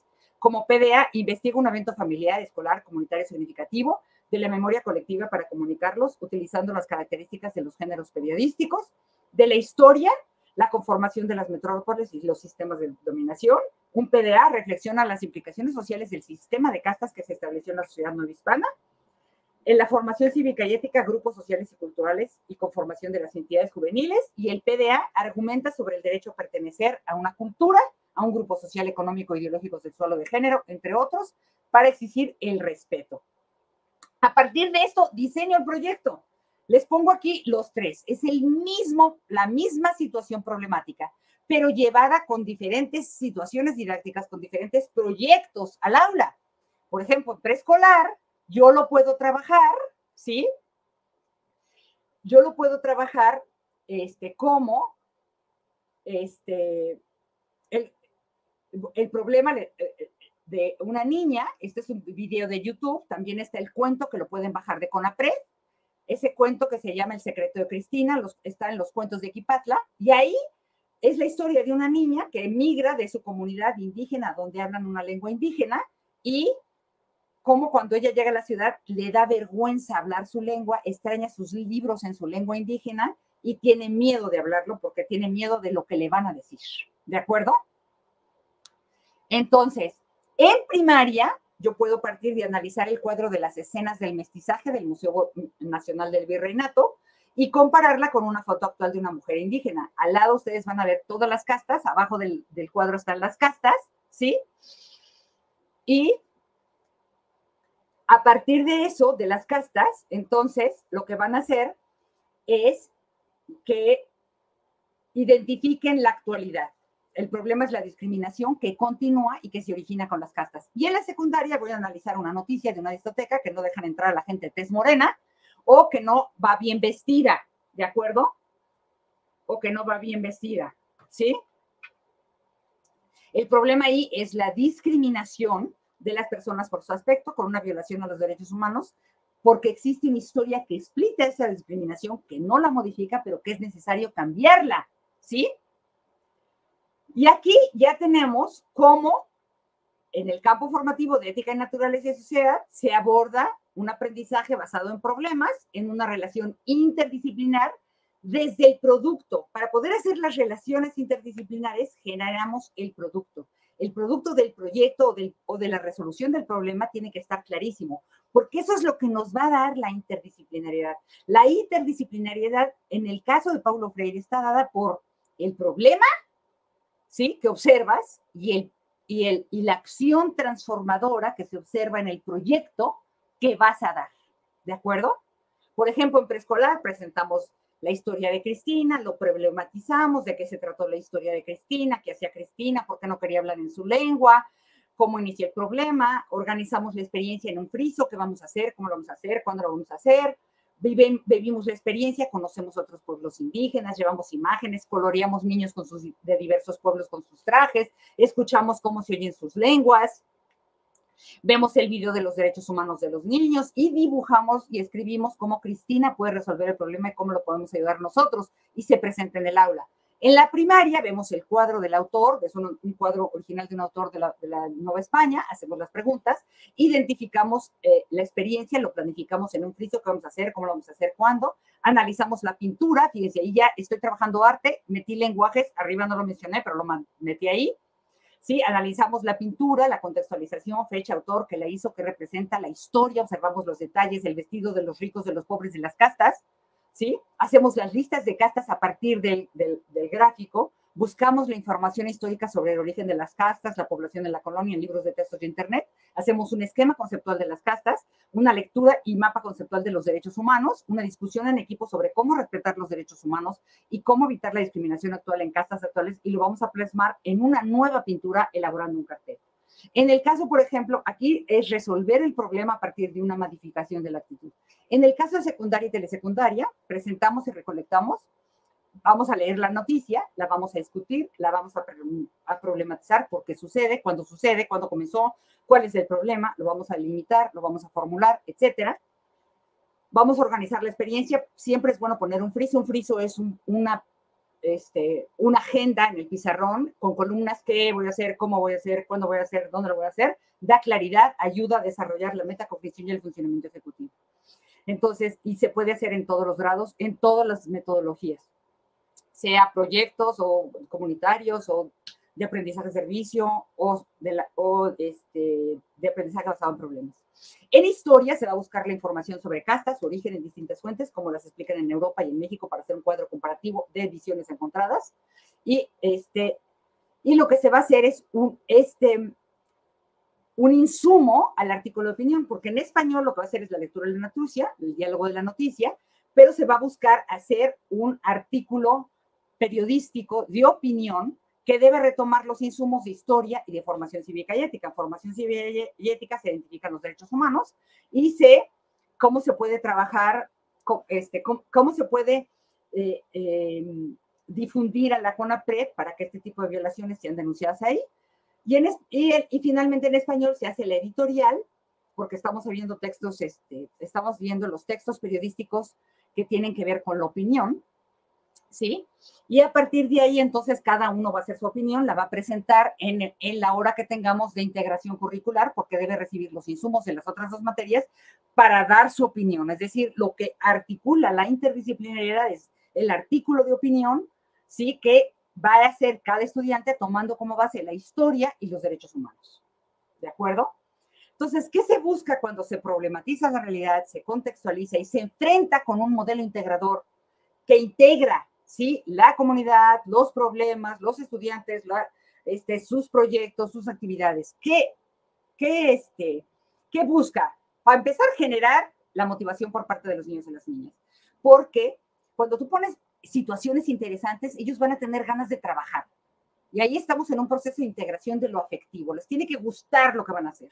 Van a aprender a ser críticos al cuestionar la realidad que se observa como normal y no modificarla. Van a impulsar que las dificultades de aprendizaje, comprensión lectora, resolución de problemas matemáticos y científicos se logren mediante un proceso de aprendizaje que deja de ser aburrido. Van a integrar lo cognitivo, lo afectivo, lo motriz, lo social y lo cultural en la acción de los niños y las niñas al resolver las situaciones problemas. ¿De acuerdo? Entonces, va más allá. Como les dije, no se trata solamente de buscar problemas como excusa. Aquellos que dicen, es que buscamos problemas como una excusa. No, el problema no es la excusa, es la metodología de Freire. Es que al mismo tiempo en que se ven los problemas, se aprenden a ver situaciones de la vida real, se aprende a encontrar los problemas de la realidad, se les transforma con el conocimiento que se tiene desde la escuela. ¿Sí? En conclusión y para terminar, ¿sí? Hay un problema de polisemia y múltiples significados para un mismo término que genera confusión, que en este caso es el programa analítico, que si son problemas, que si son situaciones, que si no se deben desbajar problemas. Aquí lo que hay es un problema de competencia lectora de intertextualización, porque no vamos a los originales, a los referentes que están utilizando, ¿sí? La nueva escuela mexicana, para que podamos entender que detrás de todo está Freire. Está Freire con estas palabras claras que son lectura de la realidad, problematización, situación-problema, acción y transformación de la realidad, ¿sí? Entonces, la eh, entonces, ahorita voy a responder ciertas preguntas. Quiero que veamos que este proceso de, de, intertextualización es necesario para poderle dar luz a toda la serie de confusiones que hay. El programa analítico debe de surgir de la metodología que parte de comprender los términos de la lectura de la realidad que conlleva interpretarla, problematizarla y con ello encontrar situaciones, problemas que sirvan para, de base para diseñar los problemas de ABP y que sí se resuelvan las capacidades de las infancias a partir de toda la concientización que surge de ello.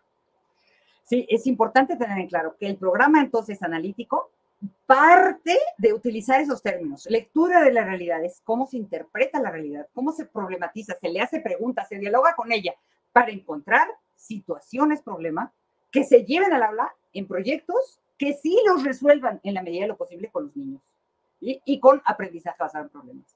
La interdisciplinariedad surge como una intención, como un medio para resolver los problemas. Es medio, no es fin. Ojo, es medio, no en fin.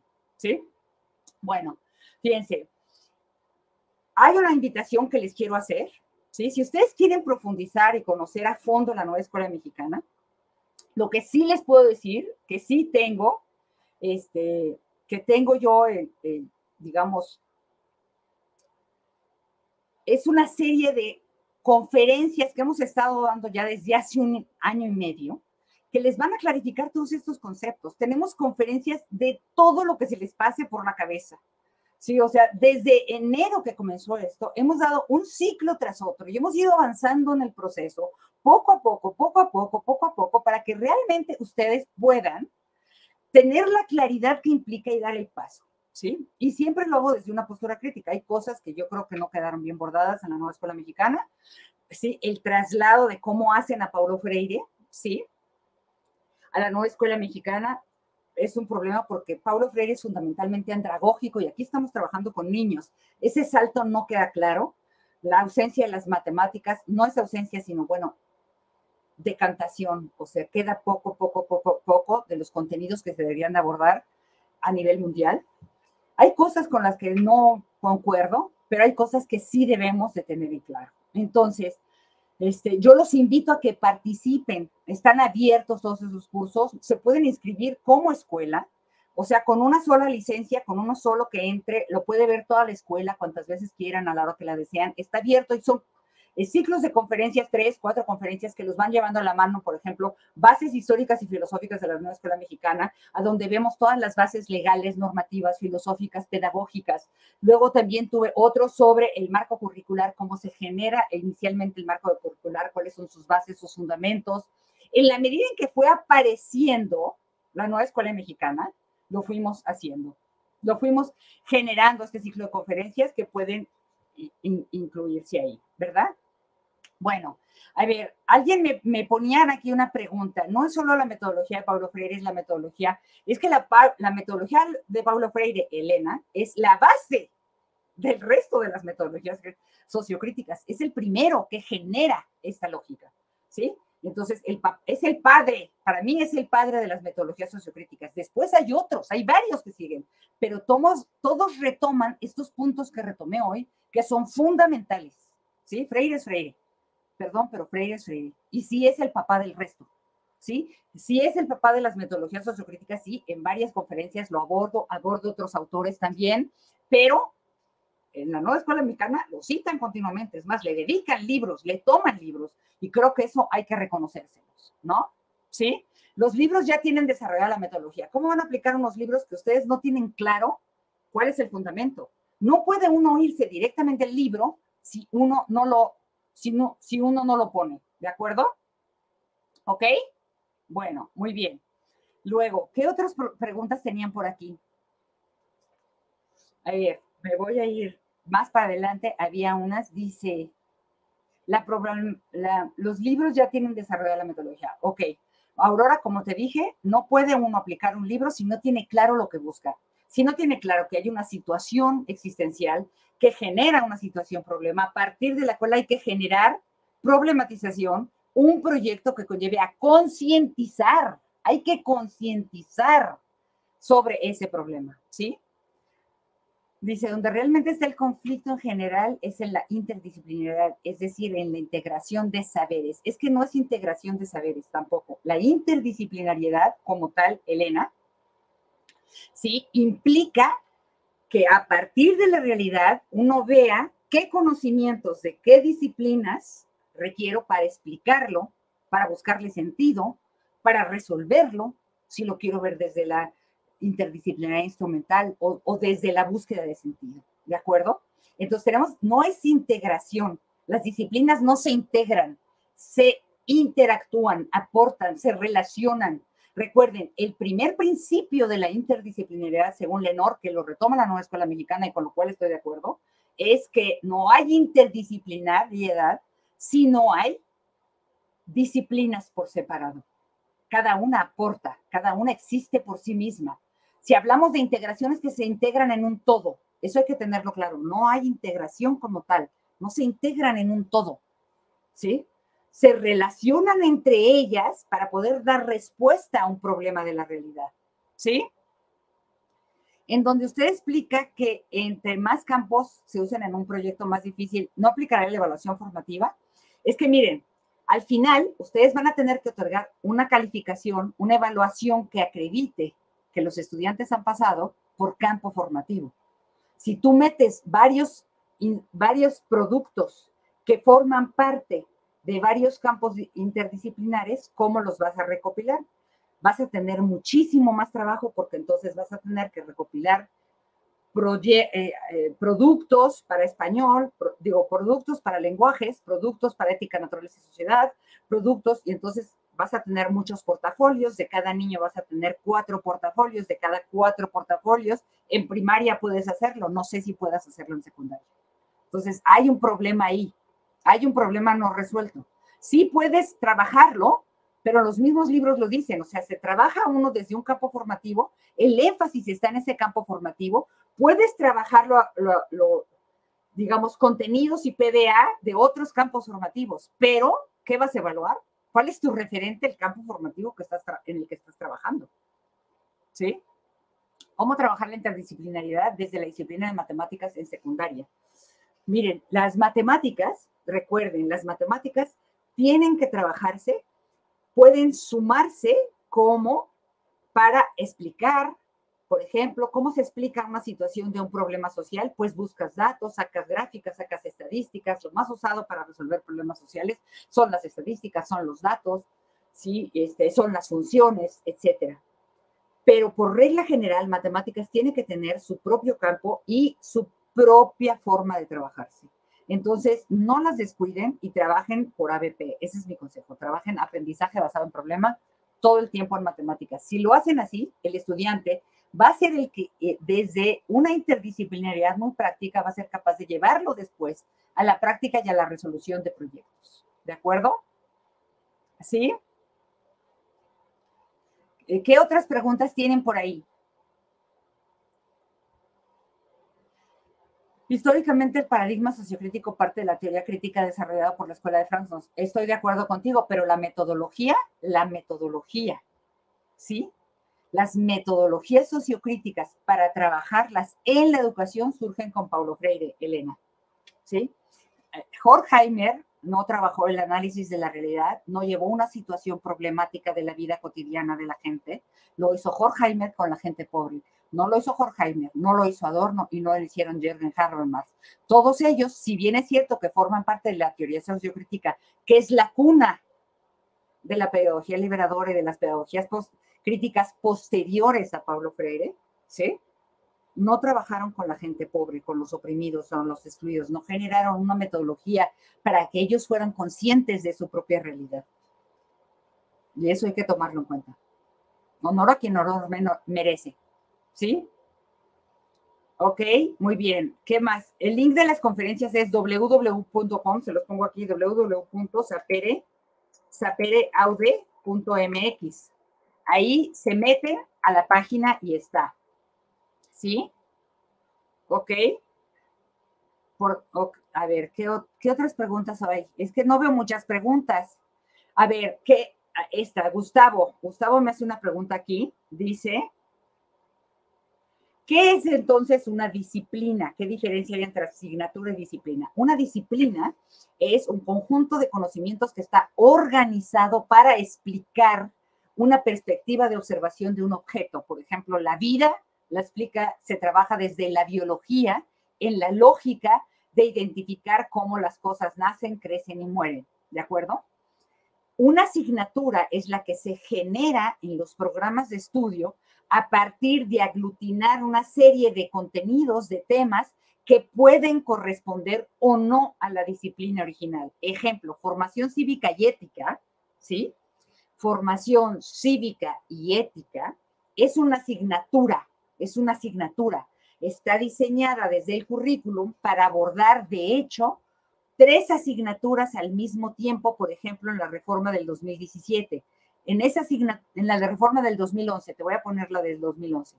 En la reforma del 2011 se abordaba, había varios aspectos de educación socioemocional, proyecto de vida, autoestima, etcétera. En la del 2011, ojo, había también este, todo lo de civismo, y había también todo lo de ética y toma de decisiones éticas con valores y principios.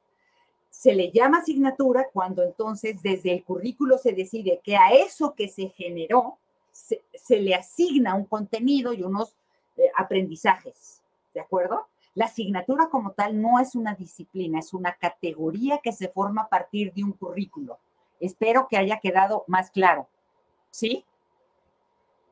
A ver, la metodología eh, por proyectos, implementación didáctica de ABP, así, la metodología por proyectos es la implementación didáctica de los ABP, no estoy de acuerdo. No estoy de acuerdo, ¿sí? La metodología por proyectos es por proyectos. El ABP es otra cosa. Tiene un origen totalmente distinto, una historia totalmente distinta, una trayectoria totalmente distinta. En el proyecto se crea algo nuevo y diferente para responder, sí, a una problemática. ¿Sí? Eso, se crea algo, es proyecto, es proyección de una idea que se plasma, se concreta.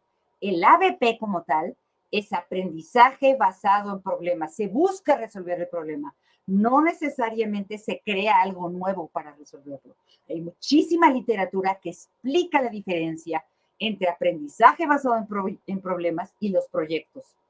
Contesto también otra cosa que alguien decía, que los proyectos no son norteamericanos, sí son de origen. Los proyectos se originan principalmente en la educación actual por John Dewey. Y John Dewey es norteamericano, es pragmático y sí trabajó los proyectos y luego su hijito principal fue Kilpatrick. Entonces hay que tener en claro que los proyectos sí provienen actualmente, tal y como están diseñados, en la lógica de creación y propuesta para la resolución de un problema, para la explicación de un fenómeno de los norteamericanos. Sí existen ahí y surgen ahí. ¿Sí? Surgen en la educación actual, en la educación actual, desde de En la educación más antigua, en la Edad Media, ¿sí? la, por ejemplo, cuando se preparaban los oficios de plomero, carpintero, bueno, no había plomería, pero por ejemplo, albañil, si había carpintero, si había herrero, si había, hacían armaduras, se graduaban con un proyecto y hacían un proyecto nuevo, por ejemplo, una armadura nueva totalmente eh, distinta a las anteriores, era la creación de un maestro en herrero para graduarse.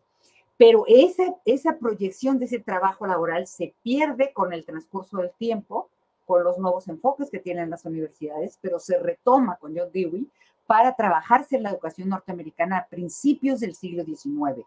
Y eso hay que tenerlo claro, ¿sí? ¿Ok? Este, el material, este, hay una página que yo les voy a poner en Facebook, eh, digo, un drive de Google para que ustedes bajen la presentación. Por supuesto que sí la van a tener y la van a poder compartir y distribuir ampliamente como ustedes quieran. Dice, la transdisciplinariedad aborda aquello que está presente a la vez en las disciplinas, entre distintas disciplinas y más allá de todas las disciplinas. Niculescu aclara que el imperativo fundamental del aprendizaje disciplinario es unir los dos conocimientos para la comprensión del mundo actual. En la transdisciplinaria es posible distinguir las disciplinas, como es el caso de los ingredientes de un pastel, y el resultado es algo. Sí, Claudia, pero va más allá. Las definiciones originales parten de él. Él es físico, hay que ver el contexto de Basarat. En el contexto de él como físico, explica que dice, cuando aborda aquello que está presente en todas las disciplinas, ahí está retomando un poco el concepto de Morán, que es anterior al concepto de Basarat. En el manifiesto de la transdisciplinaridad de Basarat, bien, explica él como físico que el mundo cuando se genera desde el principio, ¿sí? Primero es físico, luego es químico y en la Tierra es biológico, social y cultural. Y un fenómeno como tal ya aparece de manera transdisciplinar cruzando todas estas disciplinas. Y él entonces habla de niveles de realidad. Hay un nivel de realidad físico, estrictamente hablando, que está en el espacio. Mientras no haya vida, pues hay ese, ese nivel físico, hay energía y luego hay materia, hay química. Y luego en la Tierra, en la Tierra que hasta ahorita sigue siendo único, ¿sí? Hay biología, hay sociedad y hay cultura, ¿sí? Y todo eso son niveles de realidad que se articulan transdisciplinarmente en un objeto de conocimiento. ¿sí? este, eso está en el manifiesto de la transdisciplinariedad, escrito en el 2009 por Basarat. Así lo explica él. Ha madurado, retomando conceptos de Morin y de Piaget, pero él, él genera esa idea que a mí se me hace muy interesante porque el objeto como tal, desde el principio, siempre fue físico. ¿Sí? ¿Ok? Luego, los, dice, los proyectos no son para que los estudiantes apliquen lo que saben, no. Los proyectos en la nueva escuela mexicana como tales no son para aplicar, no surgen de conoce, comprende, aplica. Surgen de un proceso de reflexión de la vida cotidiana y real, ¿sí? Para que encuentren una situación, problema que se transforme por el proyecto y en el transcurso del proyecto se aprende. Se ve primero el problema, ¿sí? Por ejemplo, el, como fue el COVID, llegó el COVID, nadie nos explicó lo que era el COVID. Primero llegó, mató gente y luego, como respuesta, buscamos los conocimientos que pudieran resolverlo. Cómo se contagia, qué es, qué bicho es, dónde está, qué vacuna lo hace, qué medicamento. Eso, la vida es así. Primero aparece el fenómeno y luego buscamos los conocimientos. La nueva escuela mexicana tiene esa lógica. Ya también con las competencias, desde la reforma 2011 y 2017, se buscaba esa lógica de que a partir de un problema la gente pensara y fuera competente para resolverlo, ¿sí? En diferentes situaciones didácticas. Esa lógica de que el problema antecede a la construcción del conocimiento es la lógica humana. Los seres humanos no aplicamos el conocimiento en un proyecto. Vimos una necesidad, un problema, un evento, un objeto que queremos conocer y entonces como respuesta generamos el proyecto. ¿Sí? ¿Ok? también está la explicación de Jurjo Torres para que Jurjo Torres lo que explica muy bien, y es un libro que les recomiendo, es la integración. El concepto de integración de Jurjo Torres es un poco el que yo tomé en esa lámina, aunque lo amplié retomando lo que viene en la nueva escuela mexicana. Pero Jurjo Torres es el que explica que un modelo de integración curricular incluye la comunidad, incluye la interdisciplinaridad, incluye a los estudiantes, incluye los problemas, incluye la vida. Ese aporte es de Curjo Torres. ¿Sí? A ver, ¿quién más tiene por aquí? Quisiera saber cómo se manejan las metodologías y la interdisciplinaridad. Me causa mucha confusión que sugiera que cada campo le corresponde un tipo de metodología de proyectos. Es que la lógica de la nueva escuela mexicana es que cada campo ya es interdisciplinario en sí mismo. Es un campo de observación de la realidad. El campo formativo está generado en la nueva escuela mexicana desde los campos de sentido, ¿sí? Del nuevo realismo. En el nuevo realismo, ¿sí? Se identifica una real, el nuevo realismo dice, hay una realidad, por ejemplo, tú y yo vemos el mismo río, pero tú estás de un lado y yo estoy del otro. La perspectiva que tú tienes del río es una, la perspectiva que yo tengo del río es otra. Ambos estamos viendo el río desde campos de sentido distintos, pero observamos el mismo río y el mismo río es real, ¿de acuerdo? Entonces, desde esa perspectiva se generan los campos formativos. Los campos formativos se generan a partir de que esa es la realidad y en esa realidad, ¿qué conocimientos hay?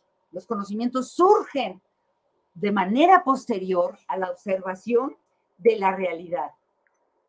¿Sí? ¿Ok? Entonces, en la nueva escuela mexicana, ¿por qué le están adjudicando un tipo de proyecto? ¿Sí? A cada campo, porque cada campo de, cada campo de por sí, cada campo de por sí, ¿sí? ya es interdisciplinariedad, interdisciplinar. Eso es lo que tenemos que tener claro. Ya es interdisciplinar. ¿De acuerdo? ¿Sí?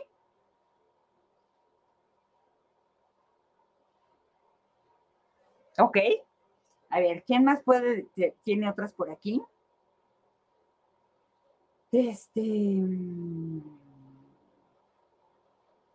¿Qué sugerencias nos da para trabajar en escuelas multigrado? Trabajen por fases y pongan, fíjense como un poco como lo hice ahorita, ustedes pueden trabajar, por ejemplo, una situación, problema que observen desde la escuela en las tres fases de la primaria o en, el caso de preescolar que sea multigrado o en el caso de secundaria que sea multigrado.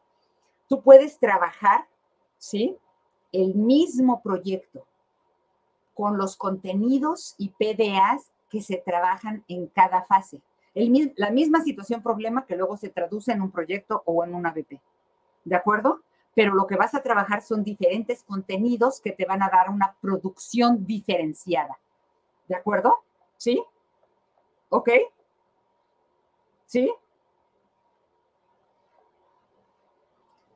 ¿Qué más dice? ¿Cuántos proyectos recomiendan trabajar a la vez? Miren, depende de la edad de los niños y de las niñas. Mientras más chiquitos, menos memoria de trabajo tienen para conservar en la memoria todo lo que están haciendo en diferentes proyectos. La memoria de trabajo es algo que tenemos todos los seres humanos, seres humanos que nos nos dice que estamos haciendo y que sigue.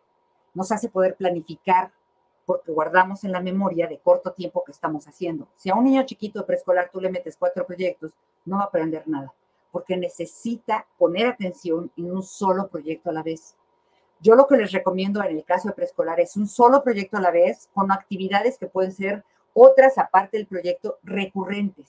Por ejemplo, que cantemos, que leamos cuentos, son actividades recurrentes que te desarrollan ciertas habilidades y luego haces un proyecto y luego haces otra serie de actividades que pueden ser recurrentes que favorezcan el desarrollo de varias habilidades al mismo tiempo. En el caso de primaria, también yo haría lo mismo. De primaria, por ejemplo, primero y segundo, ¿sí?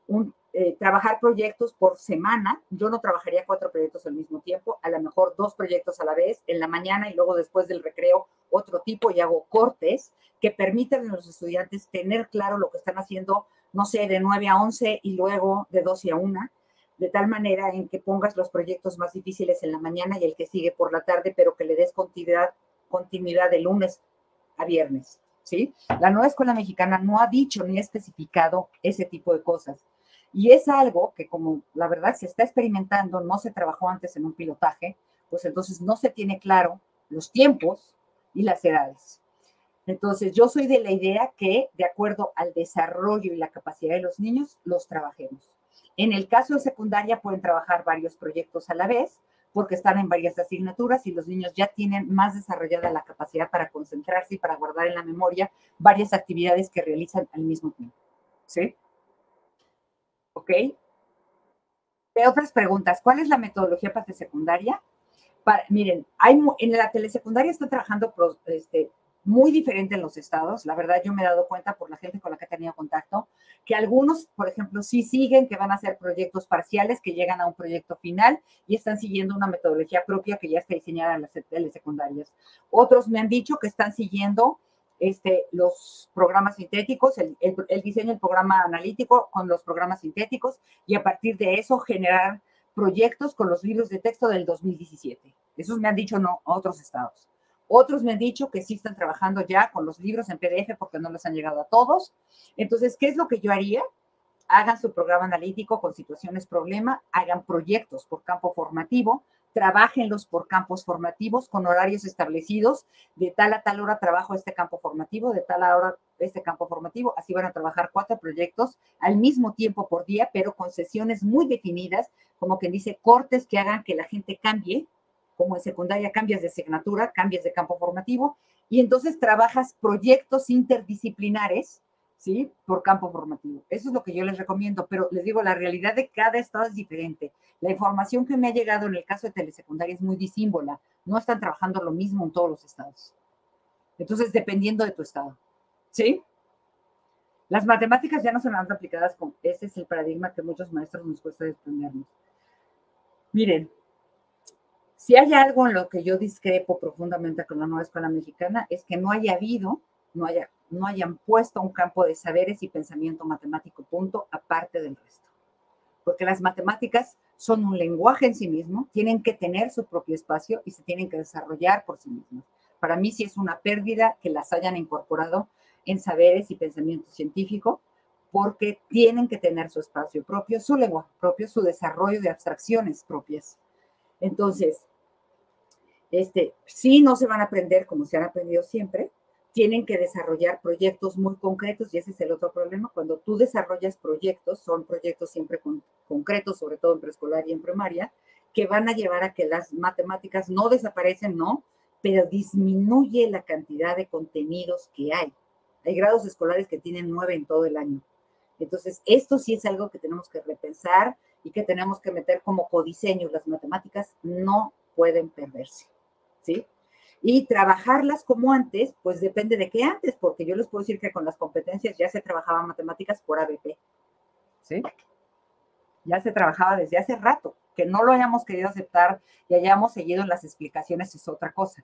Pero matemáticas hace rato que se trabajaba por ABP. ¿Sí? ¿Qué otros comentarios hay por aquí que pueda responder? En esta lógica se evaluaría como un examen. Miren, los exámenes, todas los, las fuentes de la nueva escuela mexicana les han dicho que no desaparecen. El asunto es que el examen no es final, no es único y no te da un resultado sumativo. El proceso es un proceso de evaluación formativa en la que tú vas ir viendo desde el inicio cómo llegan tus estudiantes y la idea es retroalimentarlos de manera constante para que lleguen a un buen resultado, ¿sí? Pero el énfasis está en la observación del proceso, al inicio del proyecto, en el transcurso del proyecto, recopilando evidencias, sí, recopilando los productos que van haciendo, que se hicieron un esquema, que se hicieron un mapa conceptual, que se hicieron para explicar la discriminación, para explicar los derechos humanos, eso lo recopilas, ¿sí? Que al final hicieron un cartel que van a distribuir en el proyecto comunitario para que todo el mundo conozca a los pueblos indígenas y nadie los discrimine, perfecto. Pero tú vas incidiendo, interviniendo en el inicio, en el proceso y en el producto final que logran, ¿sí? de tal manera en que siempre se mejore. Recopilas esas evidencias y eso te lleva a otorgar una calificación. No quita que puedas hacer exámenes en el inicio, exámenes en el proceso, exámenes en el resultado y que los contemples con un porcentaje como parte de tu evaluación. La diferencia está en que el examen no es sumativo, ni es la única, ni es el único producto que tú vas a retomar para evaluar. ¿Sí? Ok, luego dice, mm, se debe trabajar primero contenido. A ver, trabajamos las adecuaciones curriculares para alumnos con barreras de aprendizaje en primaria, más que adecuaciones curriculares, hoy actualmente, de acuerdo a las Naciones Unidas, se llaman ajustes razonables. Un ajuste razonable este, no es una adecuación curricular porque no vas a generar un currículo aparte, vas a trabajar con el mismo currículo adecuándolo a la capacidad de los niños. Pero es el mismo currículo, los mismos procesos de desarrollo de aprendizaje. Puedes irte para atrás, por ejemplo, un niño que tiene síndrome de Down, lo tienes en quinto de primaria, no sabe leer y escribir, puedes retomar aprendizajes de primero de primaria para que sí aprenda a hacerlo dentro de la misma situación dentro didáctica, dentro de la misma situación de aprendizaje, dentro del mismo proyecto que sus compañeros están trabajando, pero trabajando lo que él puede hacer. Por ejemplo, en, el, en este proyecto de la discriminación, a donde en cuarto de primaria analizaron el cartel de la discriminación, ¿sí?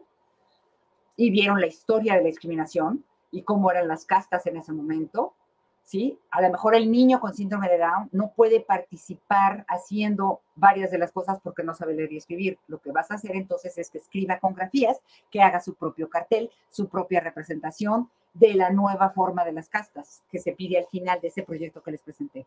Entonces participa en la misma situación con contenidos y PDAs previos, pero que le permitan ser incluido activamente en la actividad. ¿De acuerdo? ¿Queda más claro? ¿Quedó claro por ahí? Híjole, son miles de preguntas. Qué bárbaro, ¿eh? Ciertos, ciertos contenidos matemáticos, yo sería de las que digo, yo soy de las que digo, en el caso de matemáticas, ciertos contenidos se pueden abordar en una planeación aparte, que de acuerdo al artículo tercero de la Constitución que dice que los niños deben de aprender matemáticas, debe de ser así. ¿Sí? O sea, eso es por artículo tercero y por derecho constitucional adquirido. ¿De acuerdo? Si un proyecto se trabaja en dos campos formativos, ¿cuál es la metodología que predomina? ¿Sí? La realidad te lo dice. Por ejemplo, en la situación problema que yo puse de la discriminación, que la trabajamos en, obviamente la discriminación se va a ética, naturaleza y sociedad, ¿sí? Porque ahí voy a ver historia, porque ahí voy a ver geografía, en dónde se discrimina, eh, este, formación cívica y ética, cuáles son los derechos humanos, qué se hace para que no se haga, ¿sí? Entonces, el que predomina te lo da el tip, la naturaleza de la situación, problema que estás abordando. ¿Queda más claro? ¿Sí? ¿Qué otra pregunta tienen por ahí? En la asignatura de español desde el plan 2011 ya trabajábamos mediante proyectos. ¿Cuál es la diferencia con este nuevo modelo? Básicamente las metodologías sociocríticas que parten de esto que te digo, de ubicar en la realidad cuál es el problema ¿sí? Y a partir de ese problema que vas a abordar ahí, ¿sí? O sea, digamos, ver la realidad, encontrar un problema, situarlo como problema y generar un proyecto comunitario, un proyecto que ayude a construir la comunidad, a consolidarla, a favorecerla como tal, con el, haciendo uso del lenguaje. Entonces, sí hay diferencias. Te recomiendo mucho un curso que acabo de dar o que estoy dando, de hecho todavía no acaba, un ciclo de conferencias que se llama Metodologías Sociocríticas. Ahí explico las diferencias de los proyectos que hacíamos en 2011 y 2017 con los que tendríamos que estar haciendo ahora con la nueva escuela mexicana. ¿De acuerdo?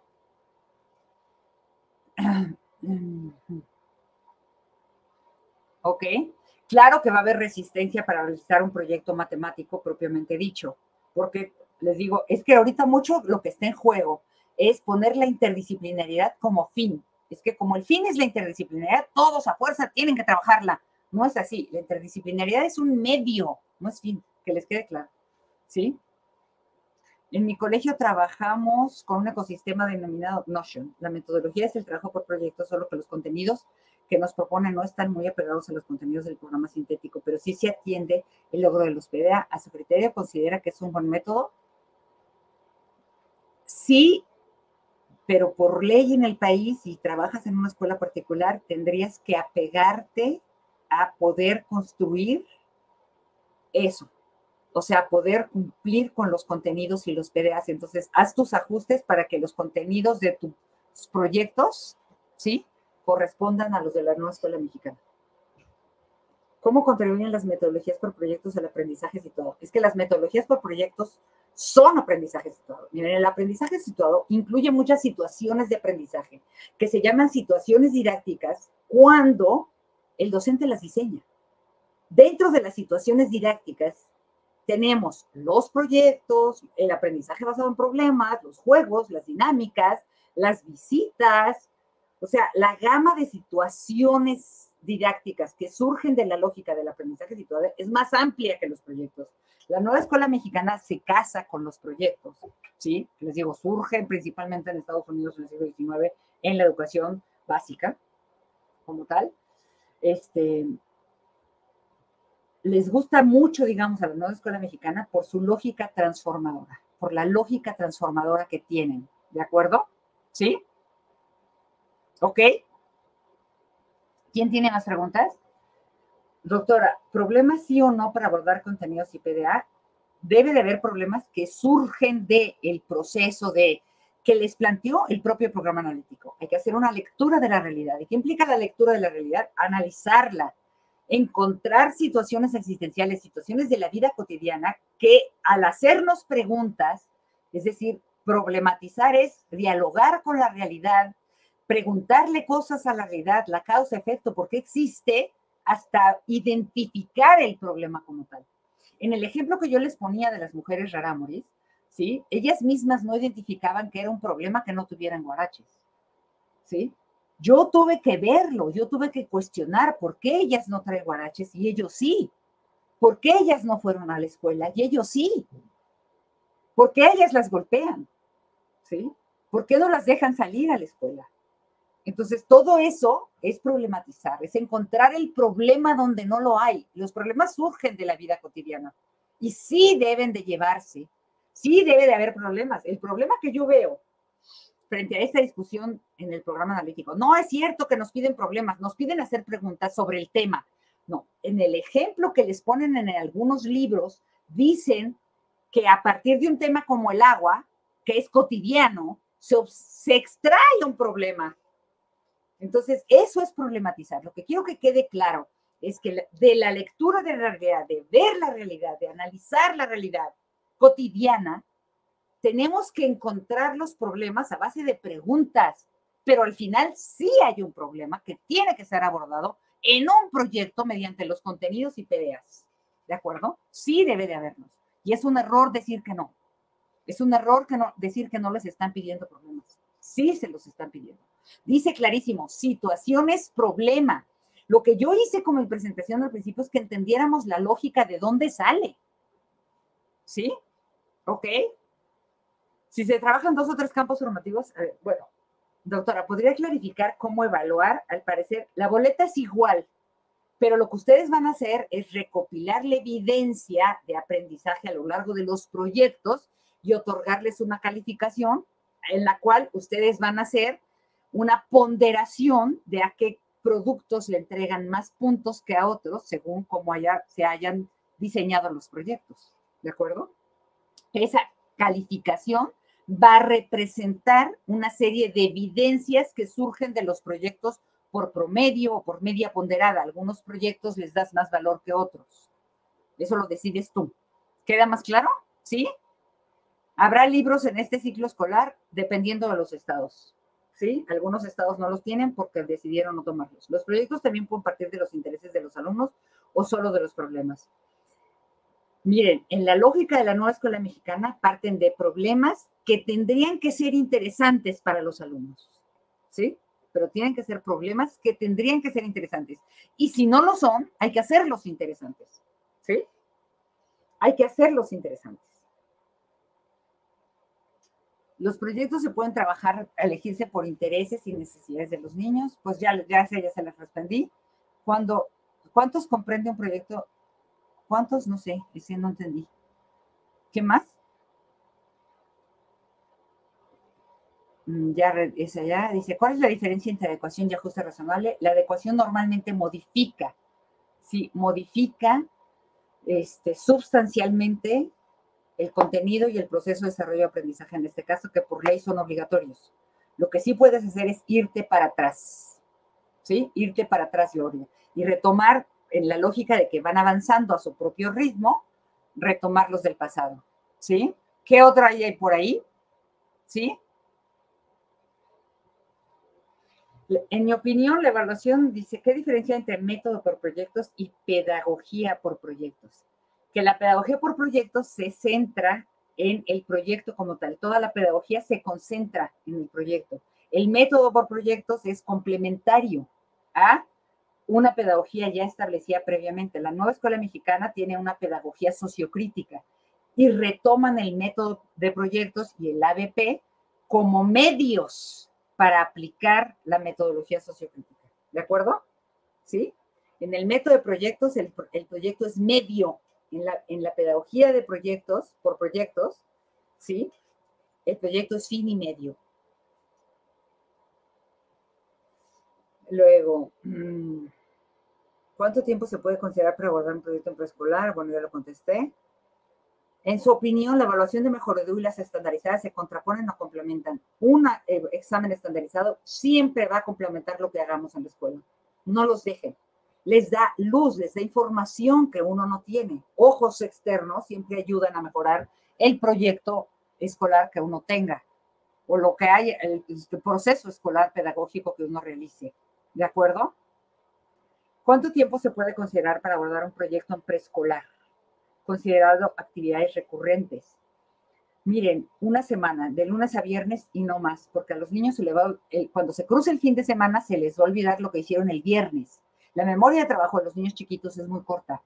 Un niño no se acuerda generalmente de, si tú le dices, oye, ¿qué hicimos el viernes? Pues no se acuerda. ¿De acuerdo? Entonces, lo mejor es hacerlo de una semana, porque diario le estás recordando lo mismo. Cuando comienza la semana ya al niño se le cruzó el cine, la visita al zoológico, el paseo, todo eso ya lo trae fresco y ya no se va a acordar de lo que estaba haciendo. Por eso, de lunes a viernes, lo mejor. ¿De acuerdo? ¿Qué más? ¿Sí? Podría mencionar los elementos. Miren, un friso es algo muy sencillo responde a las preguntas, ¿qué voy a hacer? ¿Cómo lo voy a hacer? ¿Cuándo lo voy a hacer? ¿Con qué lo voy a hacer? ¿Con quiénes lo voy a hacer? ¿En dónde lo voy a hacer? ¿Qué voy a entregar? Y tú pones cada pregunta en columnas. ¿Qué? Con una columna. ¿Cómo? En una columna. ¿Cuándo? En una columna. ¿Dónde? En una columna. ¿Con quiénes? En una columna. Todas esas columnas las pegas en el pizarrón, en un papelógrafo, están visibles y le van recordando a los niños. Y tú todos los días recuerdas ese friso, lo que vas a hacer. Hoy vamos a hacer esto, ya hicimos esto, ¿qué fase? ¿Sí? Entonces, más que fases, es qué, cómo, cuándo, dónde. El friso es genial, ¿sí? También le puedes poner al friso en una cuadrícula fechas. Este día hacemos esto, este día hacemos esto, también se las puedes poner y ya es un friso cuadriculado, ¿de acuerdo? Encuentra ciertas similitudes entre los programas, programa analítico y los elementos de la planeación. Entonces, ¿son lo mismo? No, no son lo mismo. Miren, porque el programa analítico, ¿sí? En la presentación que yo hice, el programa analítico termina cuando tú contextualizaste, cuando codiseñaste. Analizas la realidad, detectas una situación, problema, la relacionas con tus contenidos y PDA del grado que te ocupa Busca si es necesario codiseñar, hacer otros contenidos, otros objetivos para abordar esa situación, problema y hasta ahí es tu programa analítico. Ese programa analítico, en teoría, se debería ser el principio del año, se puede ir modificando, agregando, corrigiendo, ¿sí? Ahorita lo van a hacer en proceso, pero la planeación es que tú retomas todo eso para diseñar el proyecto. Es el plano didáctico, ya es diseñar el proyecto, la secuencia de actividades, los productos que vas a pedir, la organización del grupo, lo que van a hacer a detalle. No es lo mismo, ¿sí? De hecho, en el programa analítico, tú pones una situación problema, la discriminación, que ya cuando estás en el aula, a lo mejor surgió un escándalo de discriminación que puedes retomar y que no estaba cuando tú decidiste que la situación problema era la discriminación, pero hay algo nuevo que surgió, lo retomas y se modifica tu idea de que ya no va a ser proyecto, va a ser análisis de caso. ¿Sí? Ojo, porque también les han dicho en los libros de texto del maestro que también pueden trabajar análisis de caso. Sí, en, el, en el, libro este, de la fase 4 viene. ¿Ok? ¿Qué otras preguntas tienen? ¿Podrían verificar cómo se lleva a cabo la evaluación en la NEM? Miren, ustedes tienen un proyecto. Ya, bueno, tienen un programa analítico, parten de su situación problema, que fue hecha en esa lógica. No es irte directamente al problema. Lo que quiero que quede claro es, no se van directamente al problema. Yo vi que el problema de la basura, no. Primero observas la realidad, la analizas, dialogas con ella, te haces preguntas, te preguntas por qué tiran la basura. No es la basura, es por qué tiran la basura, cuándo tiran la basura, quiénes tiran la basura, porque no hay botes. Es que no saben que hay que reciclar. es que no saben dónde termina, no saben las consecuencias. Todo eso es problematizar. Cuando tú tienes claro todo el problema, ya problematizado, clarísimo, porque es encontrar causa-efecto, eso es lo que dice Freire, ¿sí?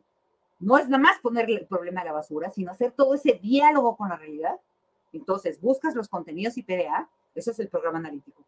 Buscas el codiseño si es necesario, si no hay contenidos IPDA que requieran, los diseñas y los pones. Y entonces te vas al proyecto. ¿Qué vas a hacer el proyecto?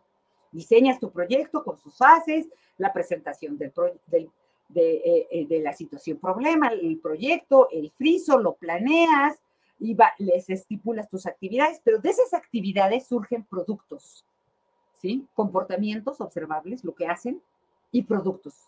Y tú vas recopilando esos productos y esos comportamientos, ¿sí?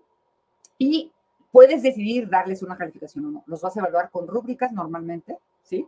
Porque son productos que los niños van a hacer libremente como respuesta a un proyecto con el conocimiento que aprenden, ¿sí? Y entonces, ya, ya calificados y coleccionados, la suma de todos esos productos que te hacen evidente el avance en los contenidos y PDAs de un campo formativo, ¿sí? Te lleva a una calificación. Hay un ciclo de conferencias que di sobre evaluación formativa en junio, ¿sí? Hay un curso que di en junio. Hay un ciclo de conferencias a donde vemos a detalle, ¿de acuerdo? ¿Sí? El proyecto áulico dura el mismo tiempo que el proyecto escolar. Miren, la lógica de una escuela mexicana, según el libro del docente de la fase 3, dice que el proyecto de aula se, es de corto tiempo, se lleva ahora. El de escuela se lleva dos o tres, es de mediano tiempo, dos que está relacionado, porque en teoría están relacionados. Hay que relacionar los proyectos de aula con los de escuela y la comunidad. El de aula se lleva ahora en septiembre, el de escuela del mismo tema, del mismo problema, de la misma situación problema, se lleva a cabo en noviembre y el siguiente de la comunidad se lleva a cabo en enero o en marzo. La lógica sí existe, sí tiene una temporalidad de corto, mediano y largo tiempo. No se hacen al mismo tiempo, no se hacen de manera paralela. Está escrito en el libro de Sin Recetas 3, ¿sí? ¿Ok?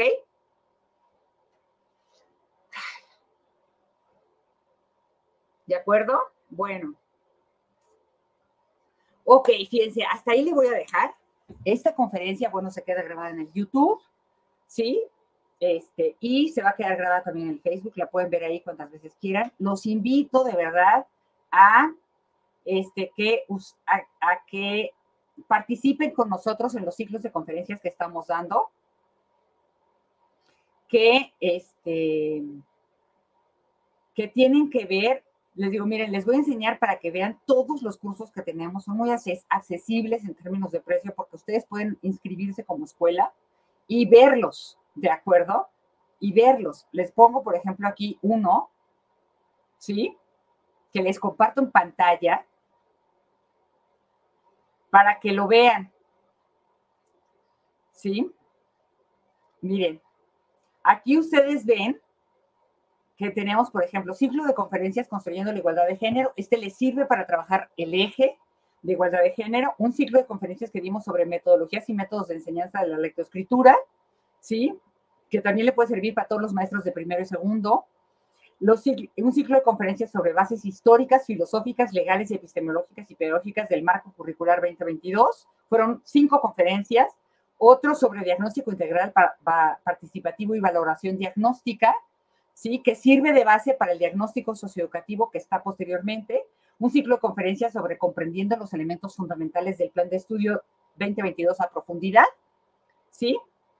Los cuatro elementos, enfoque de derechos humanos, de integración curricular, comunidad como núcleo, autonomía profesional, teoría y práctica de la problematización y la contextualización del programa analítico. Esto es el programa analítico a fondo, el campo formativo de lenguajes, este, hay dos conferencias. Para el campo formativo de saberes y pensamiento científico, tres conferencias.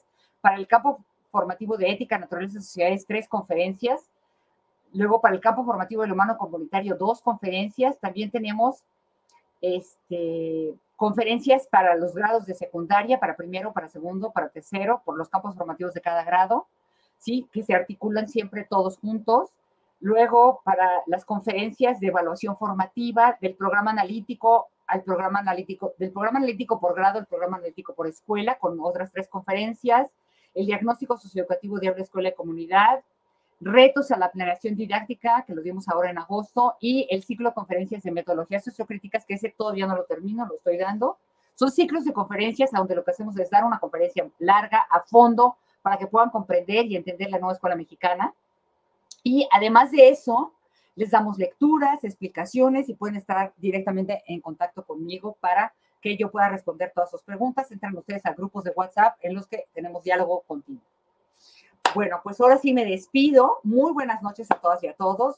Me da muchísimo gusto que hayan ustedes participado en esta conferencia. Se queda grabada, la pueden ver libremente, la pueden discutir. Si tienen dudas, todavía si les quedan dudas sobre la interdisciplinariedad, recuerden que no es lo mismo que multidisciplinaridad, que lo que les pide es intradisciplinariedad como medio para poder resolver las situaciones, problemas que se enfrentan en la nueva escuela mexicana con los conocimientos que se tienen desde la escuela. Y que sí se busca que los niños y las niñas contribuyan a la resolución de los problemas de su comunidad desde su edad, desde sus capacidades y potencialidades, no los nulifiquen, no los pongan a resolver los problemas del universo, del narcotráfico, no pueden, pero sí pueden resolver problemas muy sencillos y van a desarrollar su autoestima, van a estar felices de poder hacer cosas a las que ellos se sientan útiles para la comunidad. ¿De acuerdo? ¿Sí? Hay cosas todavía que quedan pendientes de abordar en la nueva escuela mexicana, no con todas estoy de acuerdo, lo soy sincera. Hay otras con las que sí. Este, y ojalá con el tiempo pues lo vayan mejorando. Ahora sí, hasta ahí llegué. Muy buenas noches tengan todos y todas, ¿sí? Déjenme por ahí en el chat si les gustó, si les fue útil, así una retroalimentación rápida. ¿Les fue útil? ¿Les gustó?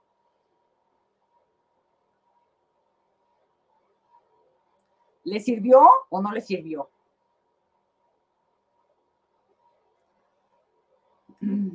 les resolvió las confusiones, porque para mí eso era lo importante. Yo quería aportar, mi propósito era realmente aportar a dirimir confusiones. ¿Sí?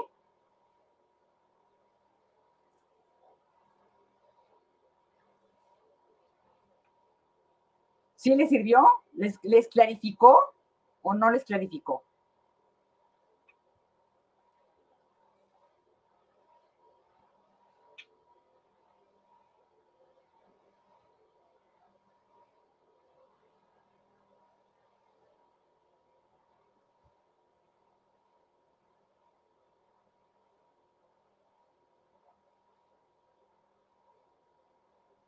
Bueno, ok, muchísimas gracias, muchas gracias, muchas gracias. Me da gusto haber estado con ustedes.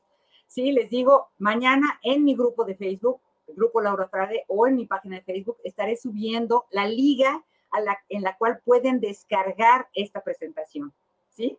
Pueden descargarla libremente, repartirla y utilizarla. Mañana con gusto les daré la liga a donde van a descargar también las lecturas sobre la interdisciplinariedad que les compartí hoy. ¿De acuerdo? ¿Sí? Esas, las lecturas son importantes porque es la base y la van a tener más claras. Están bastante claras las dos. Bueno, buenas noches a todos y a todas. Gracias por participar. Gracias por escucharme. Fue un placer.